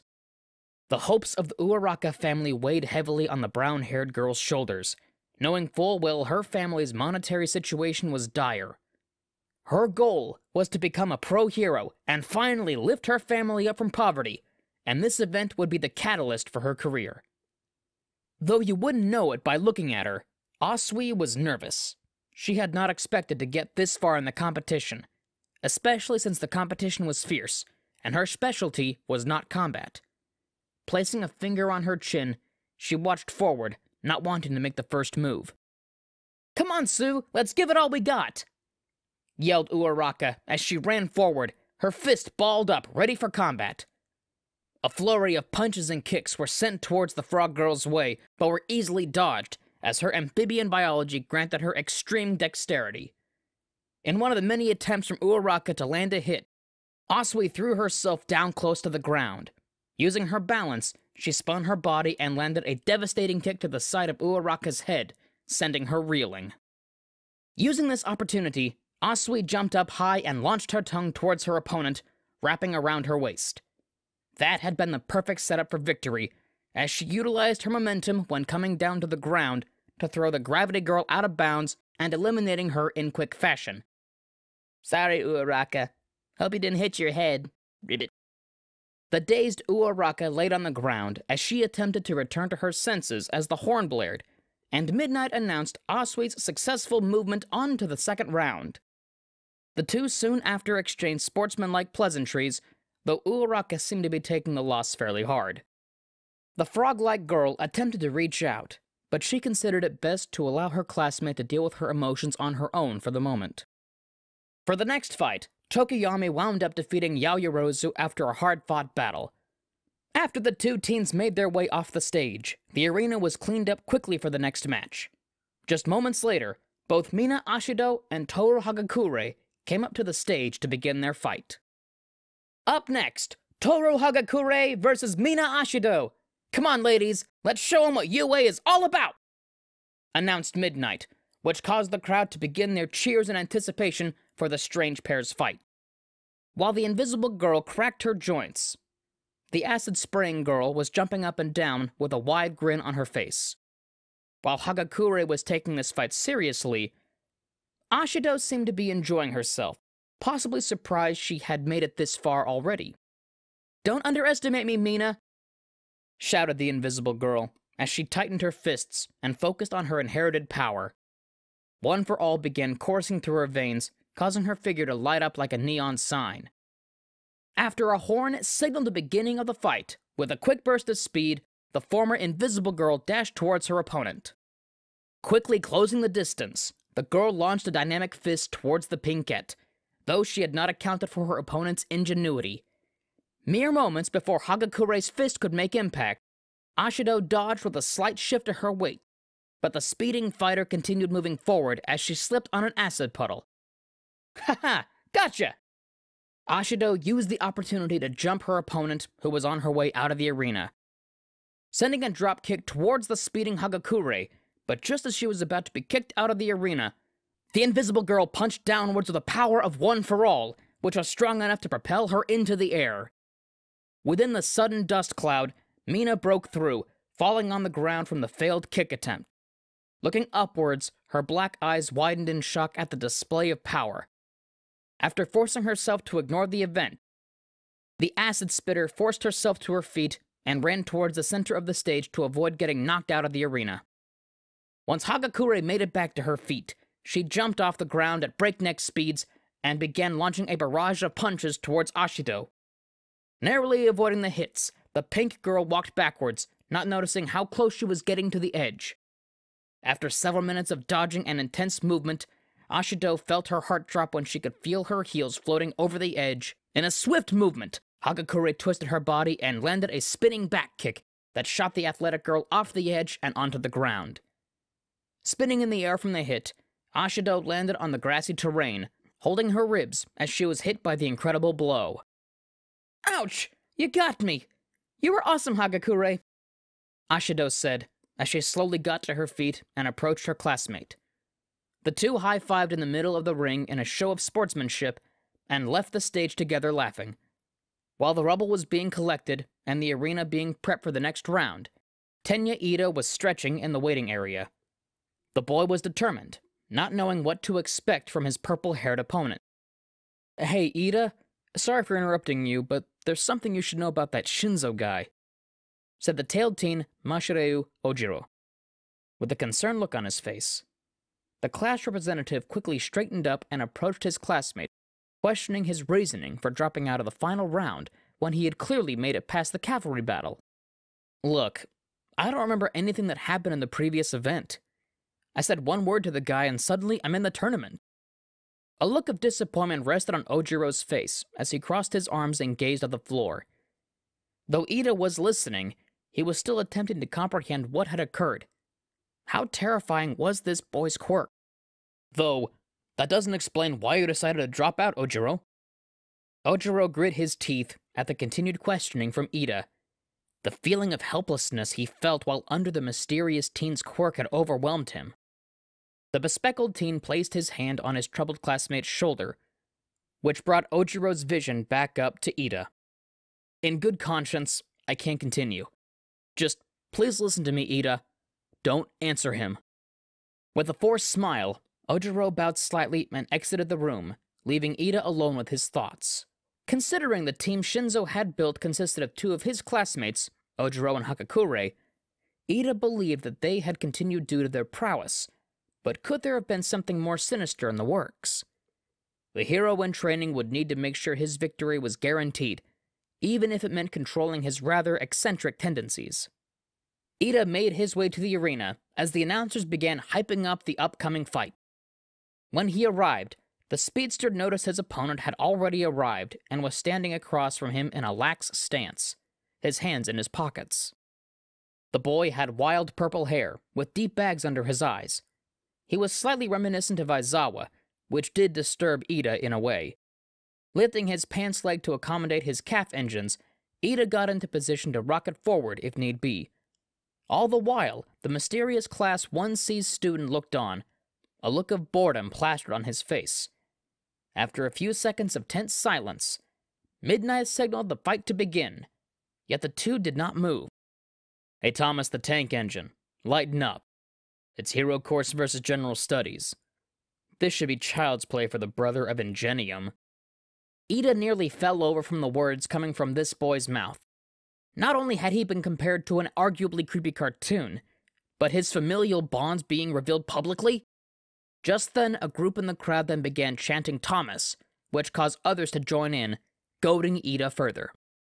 I cannot stand for this any longer, said Iida, before suddenly going silent, his eyes glossing over into a trance. Got ya, marked the purple haired boy as he slowly walked towards the speedster, stopping just a few feet from him. Shinso smiled wide as he gestured outwards, gesturing towards the outside of the ring. In that moment, Iida tried to move. He attempted to scream, though all his efforts were for naught. Time for you to leave the ring, Iida. Doing as commanded, Iida turned around and stepped out of the ring, seemingly voluntarily. A horn blasted, signaling the end of the round and the victory of the mind control quirk user. Right on cue, Iida found himself blinking and noticed he was outside of the ring. Wait, no, I. Darn it. Mumbled the teen as he kicked the ground and walked away, frustrated that even with a warning from his classmate, he was still defeated. At that point, Shinso had already left the ring and gone to the waiting area, awaiting the semifinals to begin. The next fight was a battle of the hardening quirk users, Kirishima and Tetsutetsu, which would end up as a tie, though after the two rested, a tiebreaker would need to occur. Following the tie, Ibara Shiozaki defeated Denki Kaminari in convincing fashion to advance to the semifinals. The next battle would be one to watch, as Izuku Midoriya stepped up to the stage to face a very dangerous opponent, Shoto Todoroki. The slime teen stood in the now slightly battle-damaged arena as he tried to keep his composure while he attempted to drown out the crowd noise. All the while, Todoroki stood with both fists clenched tightly, his brow furrowed. It seemed like this fight would become the vehicle for him to unleash his frustrations. Within the crowd stood the large flame hero, Endeavor, who shouted Shoto's name into the air, showing great pride towards his progeny. Although, the voice of the man just seemed to anger the icy hot teen further. Time for the next round! Izuku Midoriya versus Shoto Todoroki! Ready, boys? Let's go! Announced Midnight as the horns signaled the beginning of the fight. The two teens immediately jumped into action. Midoriya shifted into his human slime form and circled his opponent, while Todoroki adjusted his light protecting goggles and attempted to send walls of ice that barely missed the slime boy. This continued for a few minutes before Todoroki's frustration built up and overflowed completely. Enough with these games! Shouted the bichromatic teen as he slammed his right arm into the ground, sending a massive wall of ice in all directions, which ensnared the slime boy. Within the ice, Midoriya began to panic, knowing that if he remained within this prison for long, he would be eliminated. The sheer cold of the ice was beginning to turn his semi liquid form into slush. Now desperate, the slimy boy began thinking back to his weeks of training and the skills he fostered during that time. Knowing that in terms of his body composition, there were many things he should be capable of. Both he and two of his classmates were able to generate slime, but one of his classmates had a special type, acid slime. Observing his classmates would do wonders for the boy as it taught him creative ways on using his unique powers. After a few seconds of a seemingly easy victory, Todoroki began signaling to the teaching staff to end the fight, as Midoriya could not continue. Though suddenly, a small amount of steam began flowing out of the ice wall. After a second, the ice cracked, and Midoriya jumped out in the form of a mochi ball. Standing atop the ice, the area beneath him was slowly being consumed by acidic secretions. The boy shaped his body back into his humanoid slime form and stuck his tongue out in defiance, which caused the crowd to go into an uproar. How is that possible? Since when can you do that?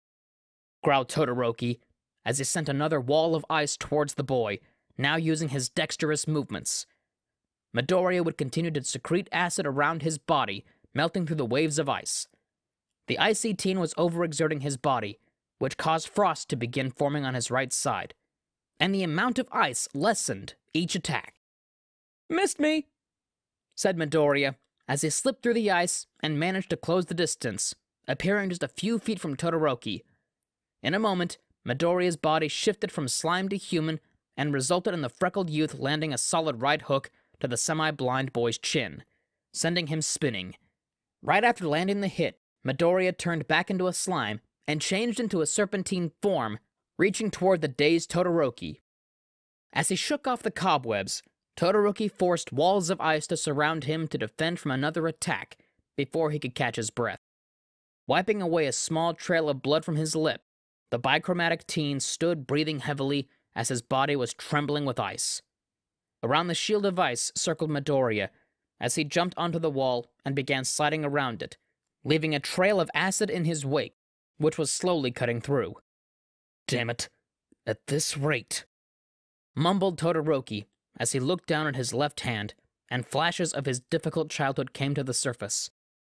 The physical trauma caused by his mother's crazed state due to his father's abuse, the day he vowed not to utilize his father's quirk, and the clear disappointment his father had at this revelation. Midoriya continued circling the walls of ice, now closing in on his opponent, though it seemed that this battle wasn't being fought wholeheartedly. Jumping off the ice, Midoriya shifted his body structure to his humanoid form and stared at Todoroki with an annoyed look on his face. Do you really think that low of me that you won't be using your fire? Asked the emerald-eyed boy, which prompted Todoroki to lower his barriers, his face showing clear fatigue and his heavy breathing visible due to the cold.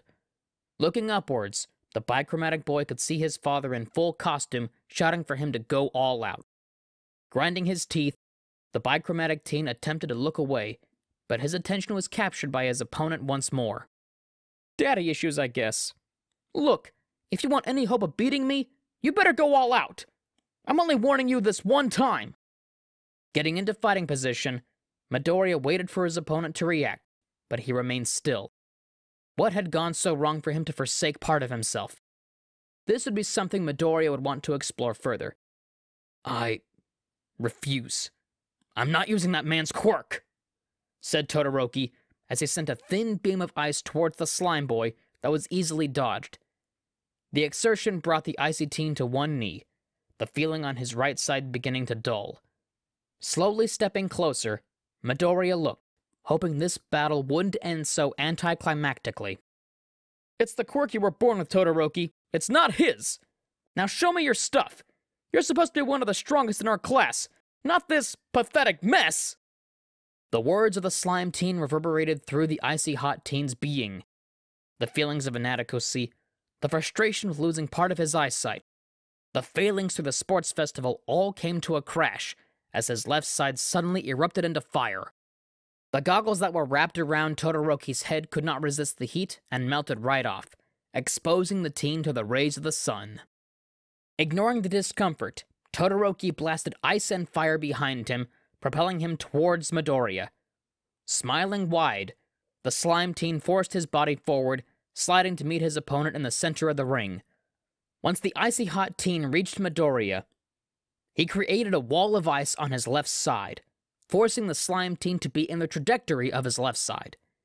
Quickly taking advantage, he sent a massive flamethrower towards his opponent that seemingly engulfed Midoriya whole. From the smoke clouds blasted a ball with a melting ice shield over the top of it, which made direct contact with the dual-quirked boy. The impact was so great that Todoroki was rocketed out of bounds completely, bouncing off the ground. Thanks for the ice, Todoroki. Good thing there was plenty around for me to use, or I would have been a goner. The crowd remained silent for a few seconds, not understanding what they had just seen. Midnight approached the ring and looked at both the teens, still somewhat confused as to what had happened, but the result was obvious. Well, folks, Shoto Todoroki is out of bounds, which means Izuku Midoriya wins! With the announcement, the crowd popped with intense cheers. The loud noise hit Midoriya's eardrums like a gunshot, which nearly caused him to melt into a formless puddle on the floor. Outside of the ring, Todoroki struggled to get to his feet. His vision seemed to double everything in his surroundings, causing him more discomfort while he attempted to steady himself. An unexpected hand reached out from the blur. It was Midoriya, who quickly approached to assist his classmate. The icy hot teen's first instinct would be to slap the hand away, but this battle had brought something to light for the young man.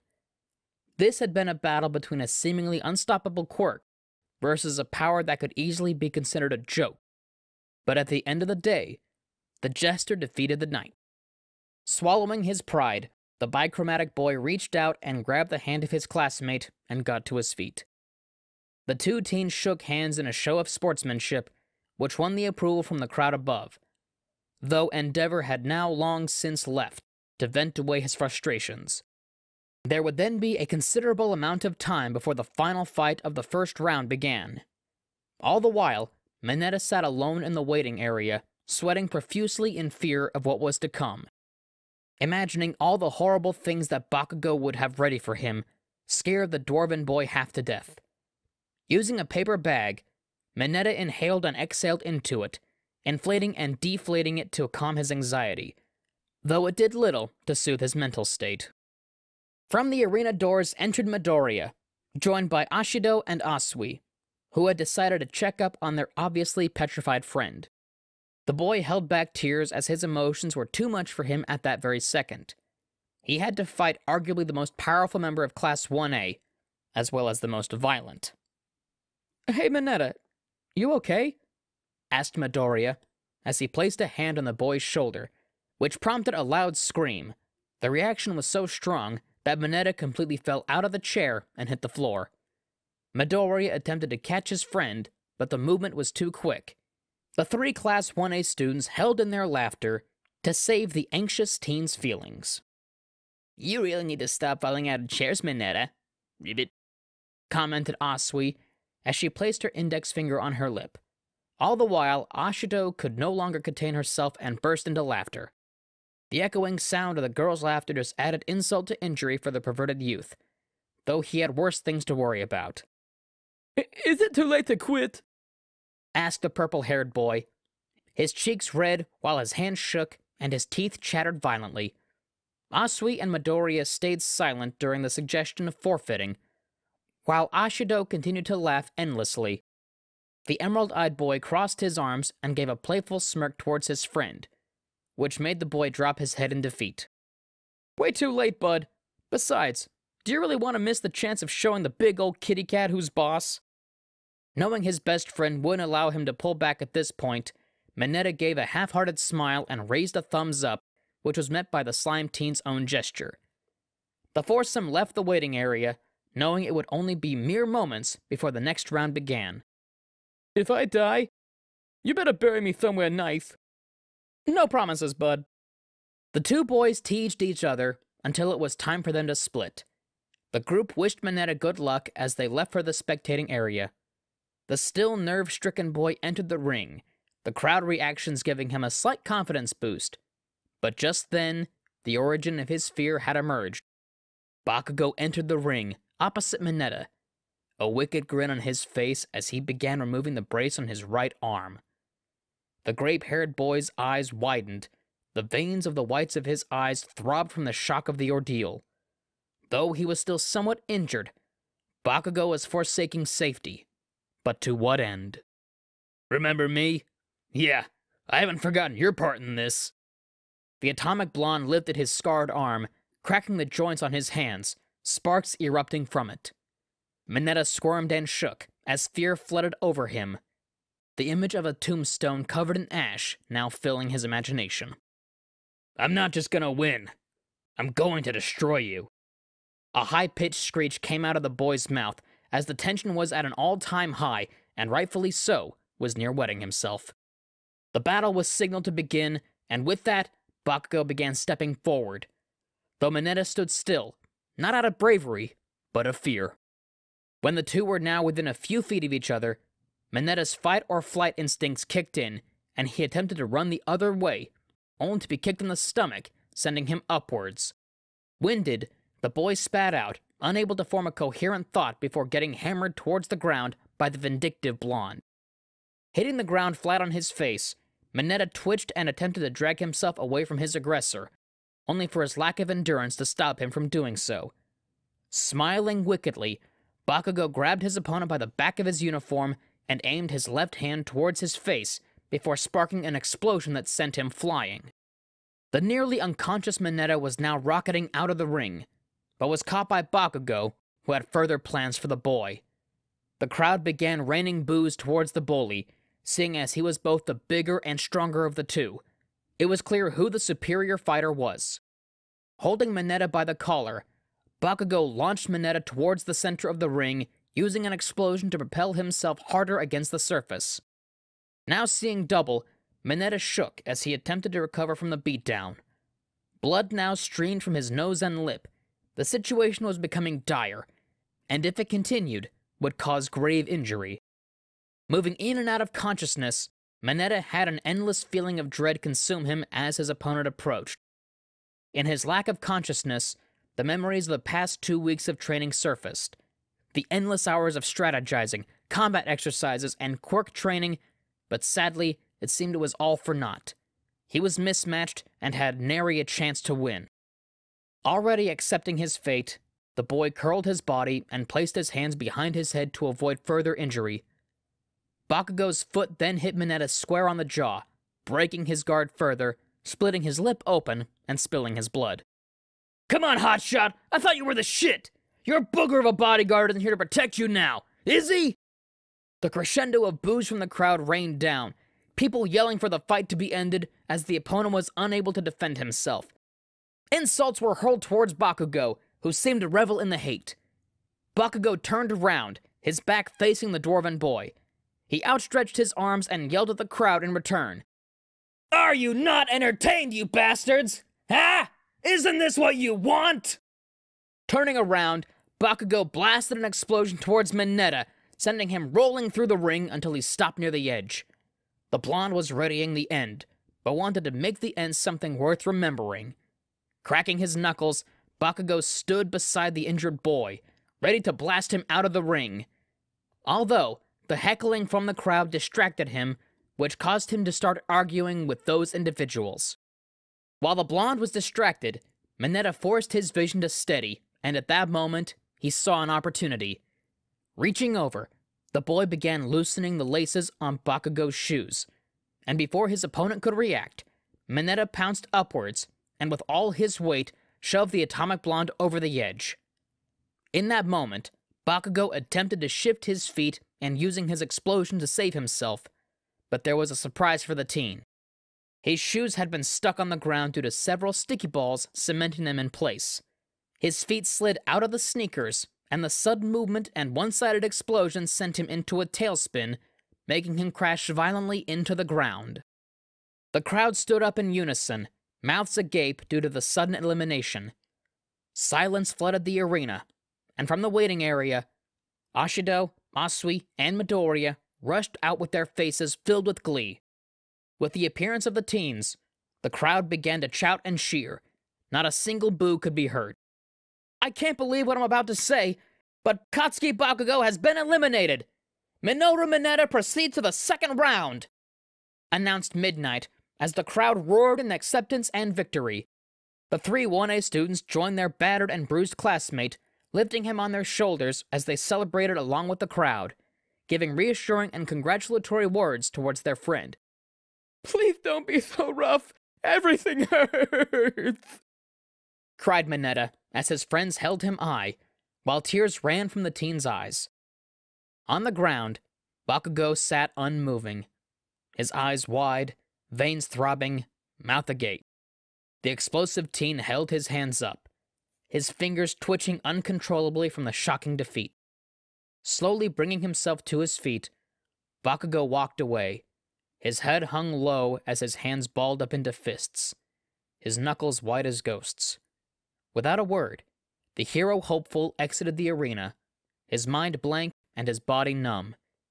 Having changed his clothes to that of casual wear, he left the vicinity to attempt to come to terms with the day's events and what the future truly had in store for him. Because once again, the boy destined for greatness was made the fool. Hey, what's happening, everyone? It is I, the man, the myth, the mustache, Tim here, and have I got a brand new video for you. Welcome to part 10 of What If Deku Had a Slime Quirk. It's a big one, folks, so please sit back and relax because you are in for a treat. With that out of the way, let's get this story going, shall we? With the first round of the fighting tournament now completed and the fanfare from the unexpected victory of Minoru Mineta over, it was time to continue the events to narrow down the final victor of the sports festival. During a short intermission after Mineta's match against Bakugo, the rematch for Kirishima and Tetsutetsu took place, with Kirishima being the victor. The next round was set, and the combatants were ready, though some were a bit worse for wear. The matchups were as followed. Ibara Shiozaki versus Izuku Midoriya, Fumikage Tokoyami versus Hitoshi Shinso, Toru Hagakure versus Eijiro Kirishima, and Minoru Mineta versus Tsuyu Asui. Already in the ring were the green-haired representatives from classes 1A and 1B. The slime team looked over at the religious fine-haired girl who held her hands clasped in a prayer pose. The horn signaled the fight to begin as Midoriya shifted his body to slime and began his trajectory towards Shiozaki. Erecting a wall of vines, the girl started a vocal prayer to the annoyance of her opponent, who suddenly and without warning slid between the cracks in the vines and landed a dropkick against the girl's chest, sending her reeling back. How dare you place your disgusting hands on my body, you sinful boy! Shiozaki said, as she recovered from the blow. Her vines were pulled upwards from the ground and began to attempt to take hold of the slime teen. But thanks to his semi-liquid form and viscous nature, he quickly slipped from their grasp. Shaping his body into his mochi form, Midoriya sped towards the girl and slammed his body against her head, sending her back again. Upon bouncing off her forehead, Midoriya shifted his state to his human body and landed a dynamic kick that sent the 1B student out of bounds and ended the fight. Sorry, you were just too slow. Also, I didn't use my hands. Those were my feet. Midoriya attempted to outstretch his hand to assist his opponent. But instead of taking it, his palm was slapped by a vine, which caused him to wince in pain. As Shiozaki walked away, the greenette began rubbing his hand to relieve the pain, his face seemingly flustered from the quick fight. Nice meeting you too, mumbled the teen as he left the stage to allow his fellow schoolmates to proceed to the next fight.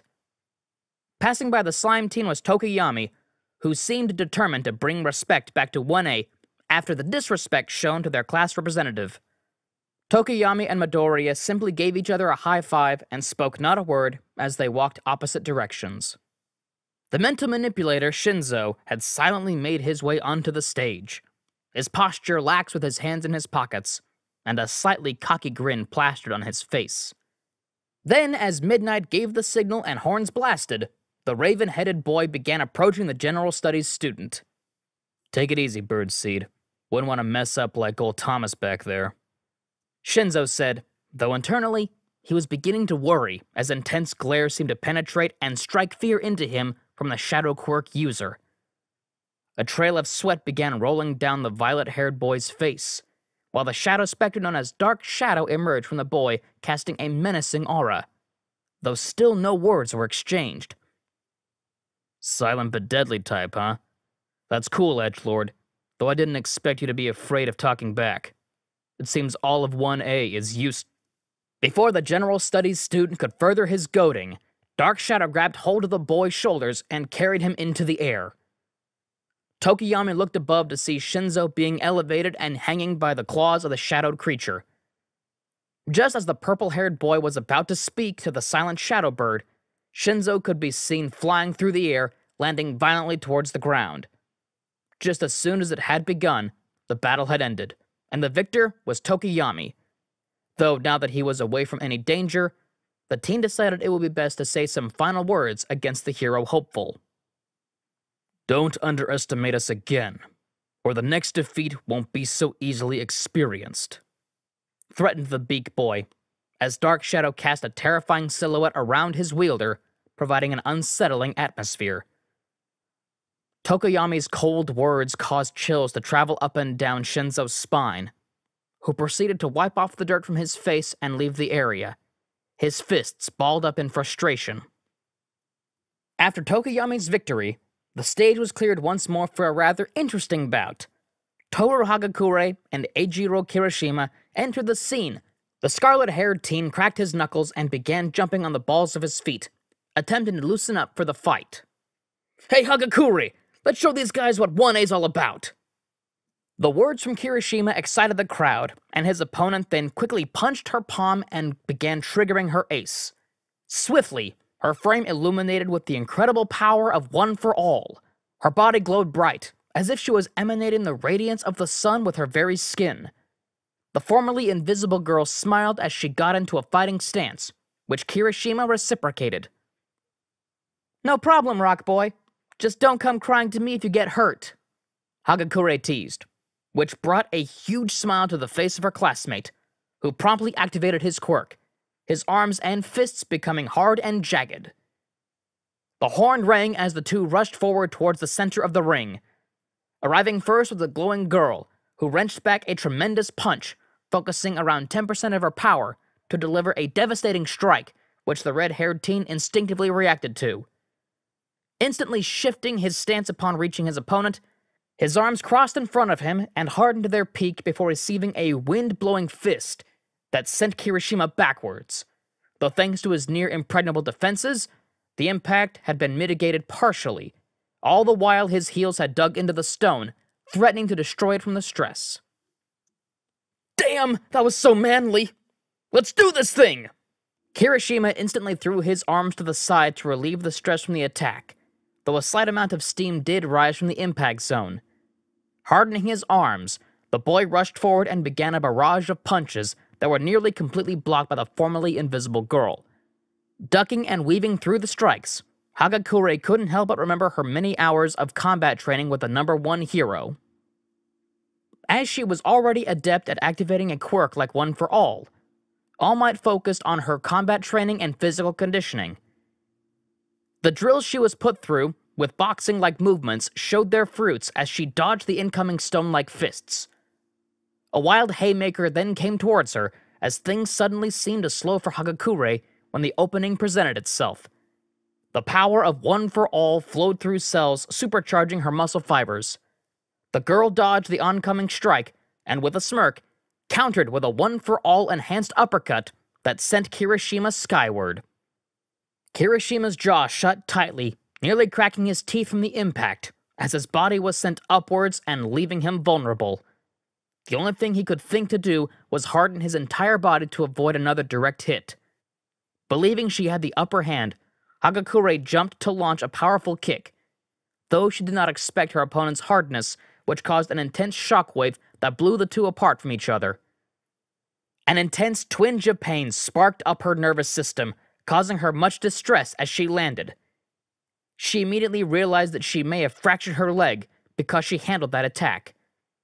As she winced in pain, the invisible girl scanned the area, looking for her opponent, who was hidden in the dust that was beginning to settle. Went a little overboard at that last one. Damn it. Mumbled the girl, as she felt an odd feeling beginning to overtake her. Unbeknownst to Hagakure, patches of skin on her arms and back began to flicker, going from a radiant white glow to the color of flesh. Kirishima held his side, severely bruised from the recoiled kick, though luckily, his quirk managed to dampen the damage. That hurt, said the sharp toothed teen, who then proceeded to crack his neck from side to side before letting out a mighty roar, balling up his fists, and began to rush towards his opponent. Hagakure, in response, noticed that the redhead was approaching quickly, and with the damage on her leg, she would be unable to dodge. She realized the only way to fight against the rock hard Ravager was to use a particular ability she had recently mastered. Fractal Ray! shouted the invisible girl as her body's bright light began moving and focusing on her outstretched palm, returning the rest of her body to invisibility, with the exception of her hand. Her palm glowed so intensely the entire stadium was lit up like a Christmas tree. In a second, a mighty blast of focused energy blasted towards Kirishima, its size completely engulfing him. As the ray dimmed and vanished, Kirishima could be seen standing, his head hanging while his fist was mere inches away from the invisible girl's palm. The crowd gasped until the red head collapsed, his hardening unable to withstand the full force of the focused blast. Then, the previously silent crowd erupted into cheers for the two 1A students, as the winner had been announced. Toru Hagakure from 1A would proceed to the semifinals. A few moments passed while Cementoss repaired the ring, filling the blast crater from the previous battle. Though, not to slow down the festivities, some cracks and other imperfections were left, allowing the next two teams to prove themselves to the crowd and the TV audience watching throughout Japan, as well as the rest of the world. The most curious bout of the current round was about to begin. The underdog that pulled off a miraculous victory, Minoru Mineta, versus the frog girl, Tsuyu Asui. As the two stepped up to the ring, the battered and bruised grape-haired boy limped towards the center to meet his classmate. Try not to hurt me too much, okay? asked the dwarven boy with a goofy smile while he rubbed the back of his head, attempting to hide the intense pain he felt throughout his body from the violent assault by Katsuki Bakugo. The frog girl smiled back and gave the boy a thumbs up as the two bumped fists and took a few steps back to create distance between the two. All right, kids, let's do this! Fight! Announced Midnight through the speakers, alongside the commencement bell that signaled the beginning of the fight. Tsuyu instantly squatted down and began hopping towards Mineta, who seemed to barely stay on his feet. Though, once Tsuyu launched her tongue to grab hold of the purple teen, he threw himself to his side and rolled out of the way. The amphibian girl continued shooting her tongue and repeatedly missed her shots, though that would soon change. Finally, after another launch of her tongue, Tsuyu pulled herself closer to Mineta. Once she was at an optimal distance, she lifted her body with her arms and launched a powerful double kick towards the boy that sent him tumbling across the ring. Oh, whoa, whoa, whoa, whoa, whoa, whoa, whoa, whoa, whoa! cried out the boy while he rolled through the damaged ring until he came to a stop, his soreness ever increasing and his breathing giving him issues. The closest thing to agile moves Mineta could muster was launching his body indiscriminately to avoid getting trapped. But his actions weren't sustainable. Tsuyu was beginning to get irritated at the constant back and forth and decided it was time for action. So, planting both her feet and hands flat to the ground, she hopped at full force towards the grape-haired boy. Unfortunately, once she reached his perimeter, she had fallen right into his trap. Her legs, feet, and hands were all attached to the ground by a minefield of sticky balls. Taking a deep breath, Mineta forced his body forward and covered his opponent from head to toe in the purple spheres. Even her mouth was shut tight by the sticky trap, leaving her completely immobile. After a minute of indecisiveness, the frog girl dropped her head and signaled that she must forfeit the round due to her immobile state. The randomness of this round's event caused the crowd to awkwardly clap, as they didn't know how to feel about the anticlimactic nature of the victory. Huh! Short stuff's done it again. Minoru Mineta proceed to the next round, announced Midnight. Mineta assisted his classmate in getting loose from her restraints, though now and then he accidentally pinched and grabbed inappropriate places. Tsuyu repeatedly slapped the boy when she was released to protest his actions, which only added to the long list of injuries he had sustained on that day. With the quarterfinals completed, the number of participants had gone down to only four, though most were worse for wear. Hagakure and Mineta were being treated in the on-site infirmary to make sure they could compete. Young lady, it seems you may have fractured your right leg. If you continue to fight, it may lead to a full-on break. Are you sure you wish to continue? Asked Recovery Girl, her hands behind her back as she awaited a response from Hagakure. The invisible girl sat on a bench, her leg wrapped in bandages to treat the bruising and mild pain she was experiencing. Balling up her fists and grinding her teeth, all that could come to mind was her mentor, the one who told her it was her time to say, I am here. No way am I quitting, Recovery Girl. Just you wait. I'll mop the floor with the competition. Shouted the seemingly enthused hero hopeful as she forced herself to her feet, feeling a shockwave of pain strike her as she put weight on her leg. Holding back the tears and screams, Hagakure gestured with a thumbs up, which she lit up to show the room that she was well enough to compete. Well, just watch yourself. Wouldn't want to break that thing on live television. Mineta was covered in bandages in another waiting area. The abuse from the festivities had taken its toll on his small frame, and it was taking all he had to keep himself from the competition. He laid on a long bench to pass the time, attempting to nap so he could recover some of his stamina, though his mind quickly wandered to perversiveness that, if discovered, would lead to a beating. Shortly after, the crowd was already restless for the semifinals to begin, and they wouldn't have to wait too long as Izuku Midoriya and Fumikage Tokoyami entered the ring to the roar of the crowd. These two had shown exceptional ability and creativity in their power sets, and their clash would be interesting. You ready for this, Tokoyami? Because you're about to get slimed! The cheesiness of Midoriya's joke garnered nothing but silence, as Tokoyami face palmed in shared embarrassment. The crowd, though, was filled with a mixture of sighs and chuckles, though one voice stood out in the awkward silence the loud cheering of a short green haired woman. You can do it, sweetie!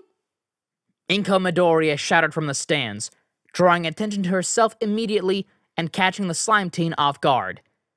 He didn't expect his mother to be present, as she had a particular dislike of fighting.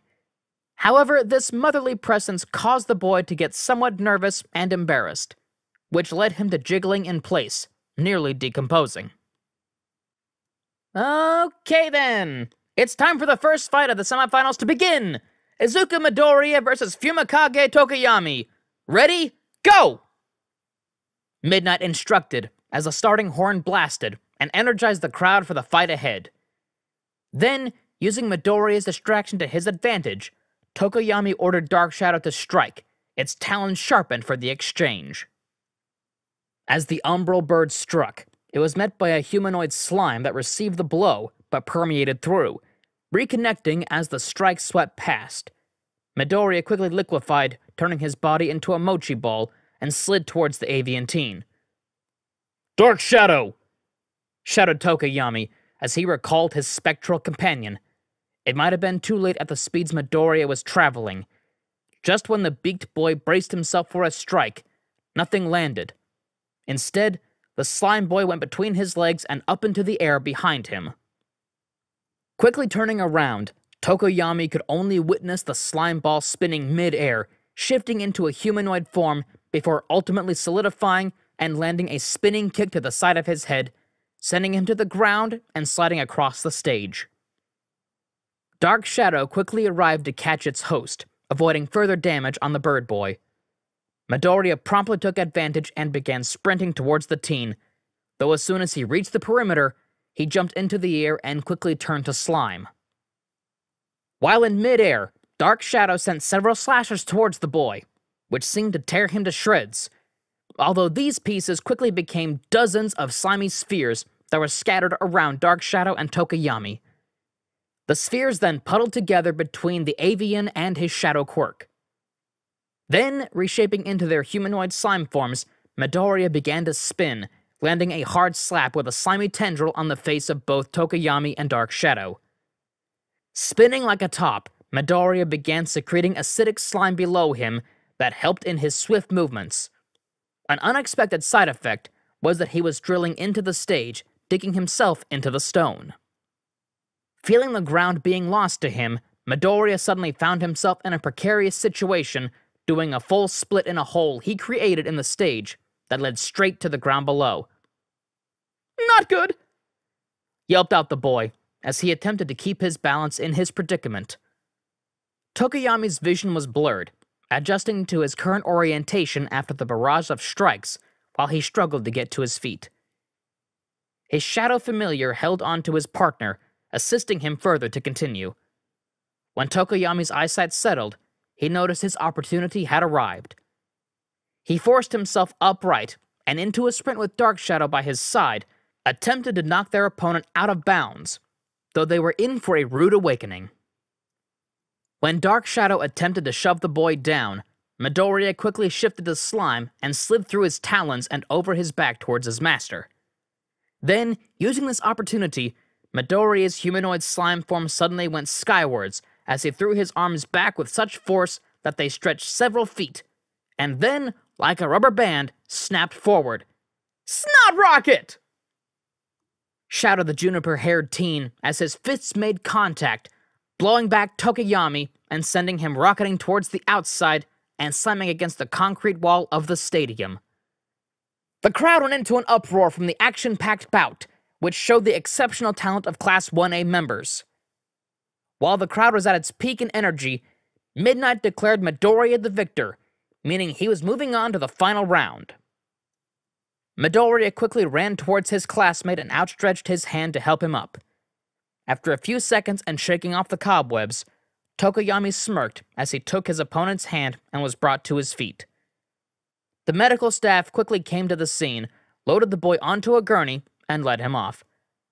The two exchanged thumbs up as they went their separate ways, one to get treated, and the other to await his final challenge. The injured duo then arrived at the stage, hiding their discomfort from spectators. While Hagakure attempted to hide her limping, Mineta seemed to waddle to the ring, his body still aching. You sure you can do this, little guy?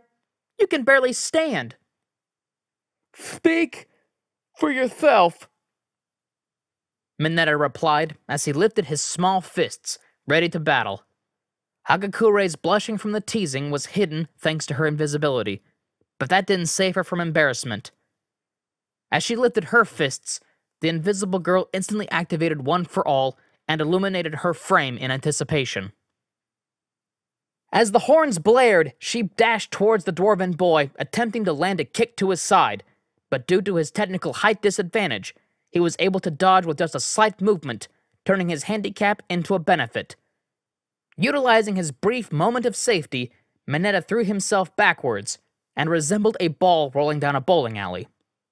Stopping on his backside, the purple youth shook his head to steady himself, only to see the glowing girl approaching once again. Audibly freaking out, Mineta began to drag his body backwards as a flurry of kicks continued to attempt to land on him, but were missed due to his frantic movements. In one of the missed kicks, Hagakure landed badly on her right leg, which shot pain throughout her whole body. Squatting to grab hold of her leg, the girl bit down and ground her teeth to move past the pain and continue to fight. Using this opportunity, Mineta took a deep breath and began running at full speed towards the girl with two purple balls in his palms, an attempt at his signature move against Hagakure. Once he was within range, the girl turned around only for her body to flicker, and for a split second, her cleavage could be seen, no longer invisible, which caught Mineta off guard.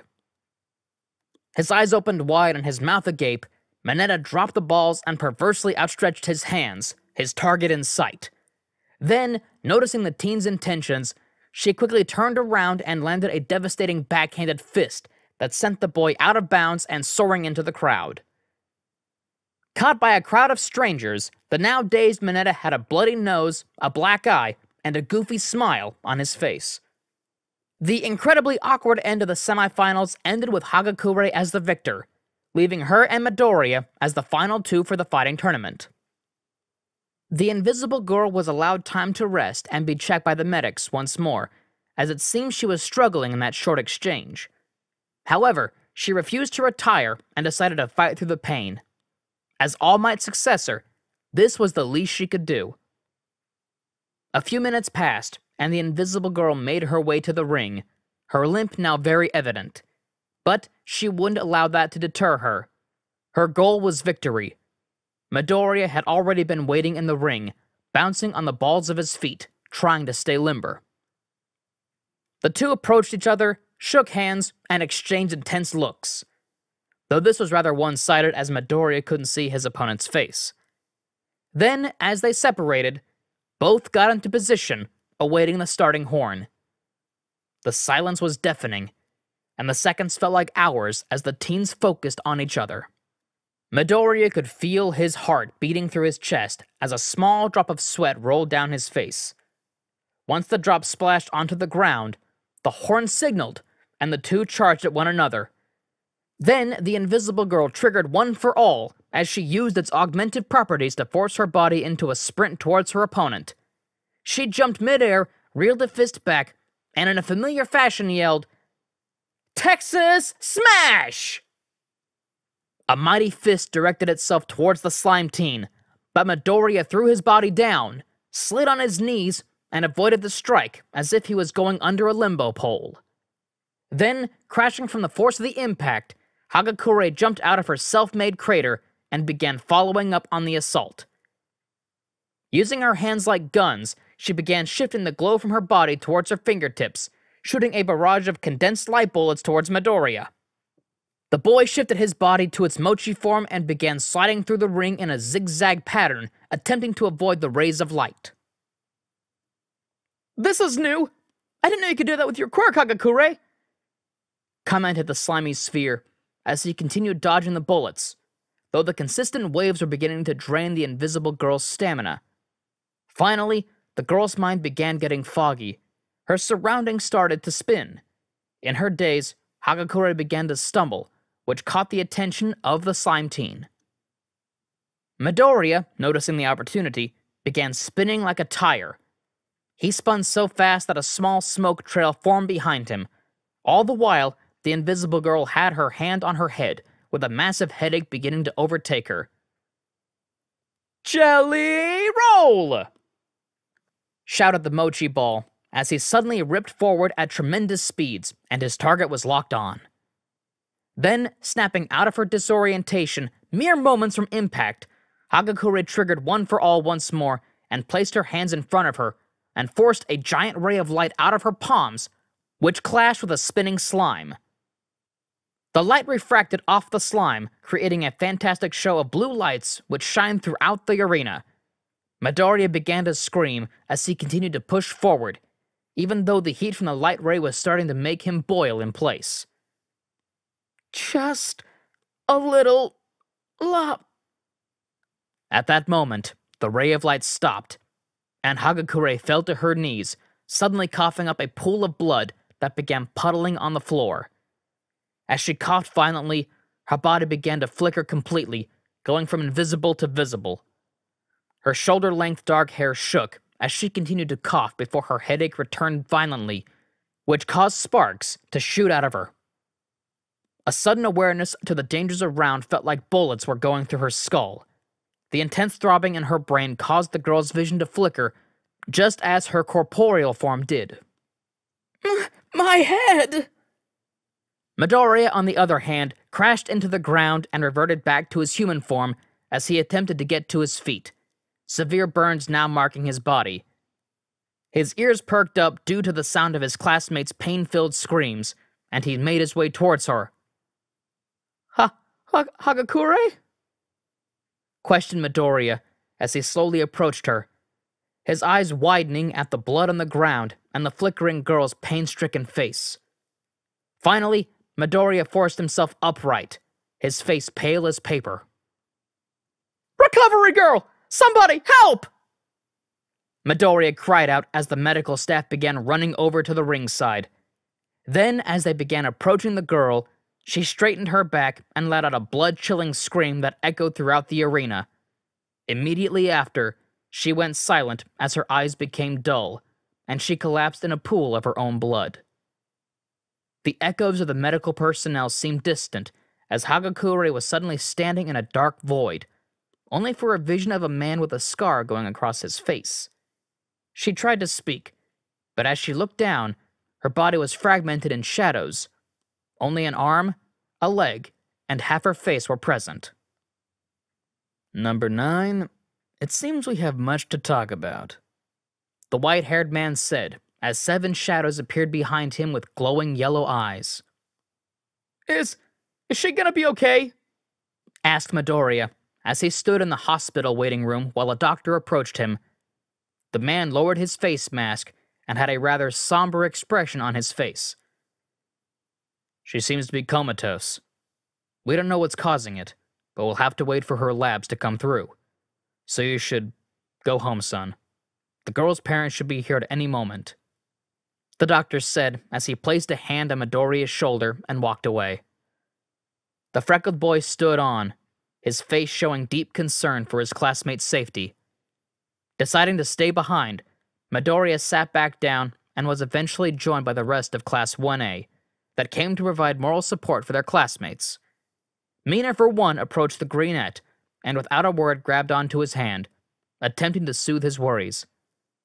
Despite all this, Mineta still had three medals in his palm one gold, one silver, and one bronze. Elsewhere, Bakugo sat in a secluded area, his head hung while he rested his elbows on his knees. His failures, his multiple humiliations coursing through his mind. Bakugo had never sunk this low to have lost to such an embarrassing opponent. Him, the top student in Class 1A. That booger and his damn grape sidekick! Mumbled the ashen blonde as he attempted to wrap his mind around the situation. The quiet was interrupted by footsteps that began getting louder and louder by the second, until a shadow was cast over the boy. Katsuki Bakugo. Gotta say, big fan. I believe I may have a proposition for you. The boy lifted his head to see a man wearing a purple suit, a gold chain, and a cigarette between his lips. The man had an eerie aura about him as he spoke to the teen. And why the fuck should I care about what you have to say? Bakugo spat, gritting his teeth and shooting daggers towards the purple suited man. Chuckling from the response, the man took a drag from his cigarette and let out the smoke from the gap between his teeth. My friends call me Giran, and I believe they would appreciate your talents more than that school of heroes ever could. A devious smile formed on the man's face as Bakugo looked on and seemed to listen closely to Giran's words. Though at that very moment, a despicable plot was being concocted. A mustachioed scientist with large circular goggles worked in a laboratory at an undisclosed location. His smile was from ear to ear as a tall man in a finely tailored suit walked by his side. Dr. Garaki, how is our latest experiment going? asked the man in a deep and frightening voice. A mixture of elegance and power seemed to exude from his very words. The scientist looked forward into the dark lab as he pulled down a switch, Flashing lights from the sparks of the machines lit up the room. Just as expected, the perfect weapon nears. All for one. The portly man began to laugh as the large tank he seemed to be experimenting on suddenly began to glow as a golem like creature seemed to float within. Suddenly, its eyes opened, shining a scarlet red, while its body seemed to be made of a non solid material, something similar to sludge. Finally, the creature began to scream, as its gurgle seemed to be audible outside the glass, much to the delight of the faceless man, who smiled wickedly at the sight. And that's our video for today, so thank you all for sticking around. I hope you enjoyed it. Little bit of a heads up this is the final part that will be released on the We the Celestials main channel. To continue following the story of our slimy protagonist, please visit our partner channel, WTC Anime Outcasts. Before you leave, there's a little bit of housekeeping I want to do. First, We the Celestials has many other channels for your entertainment and viewing pleasures. All the information you'll need is right below in the description, so please feel free to check out all the other incredible projects and content our team creates. Second, on behalf of We the Celestials, I want to thank everyone who was involved in the production of today's awesome content. Their details are also in the description. That's it for today's video, so thank you all for watching and have an amazing day. And as always, be kind to yourselves, be kind to others, and stay awesome. This has been Tim, Mustache out.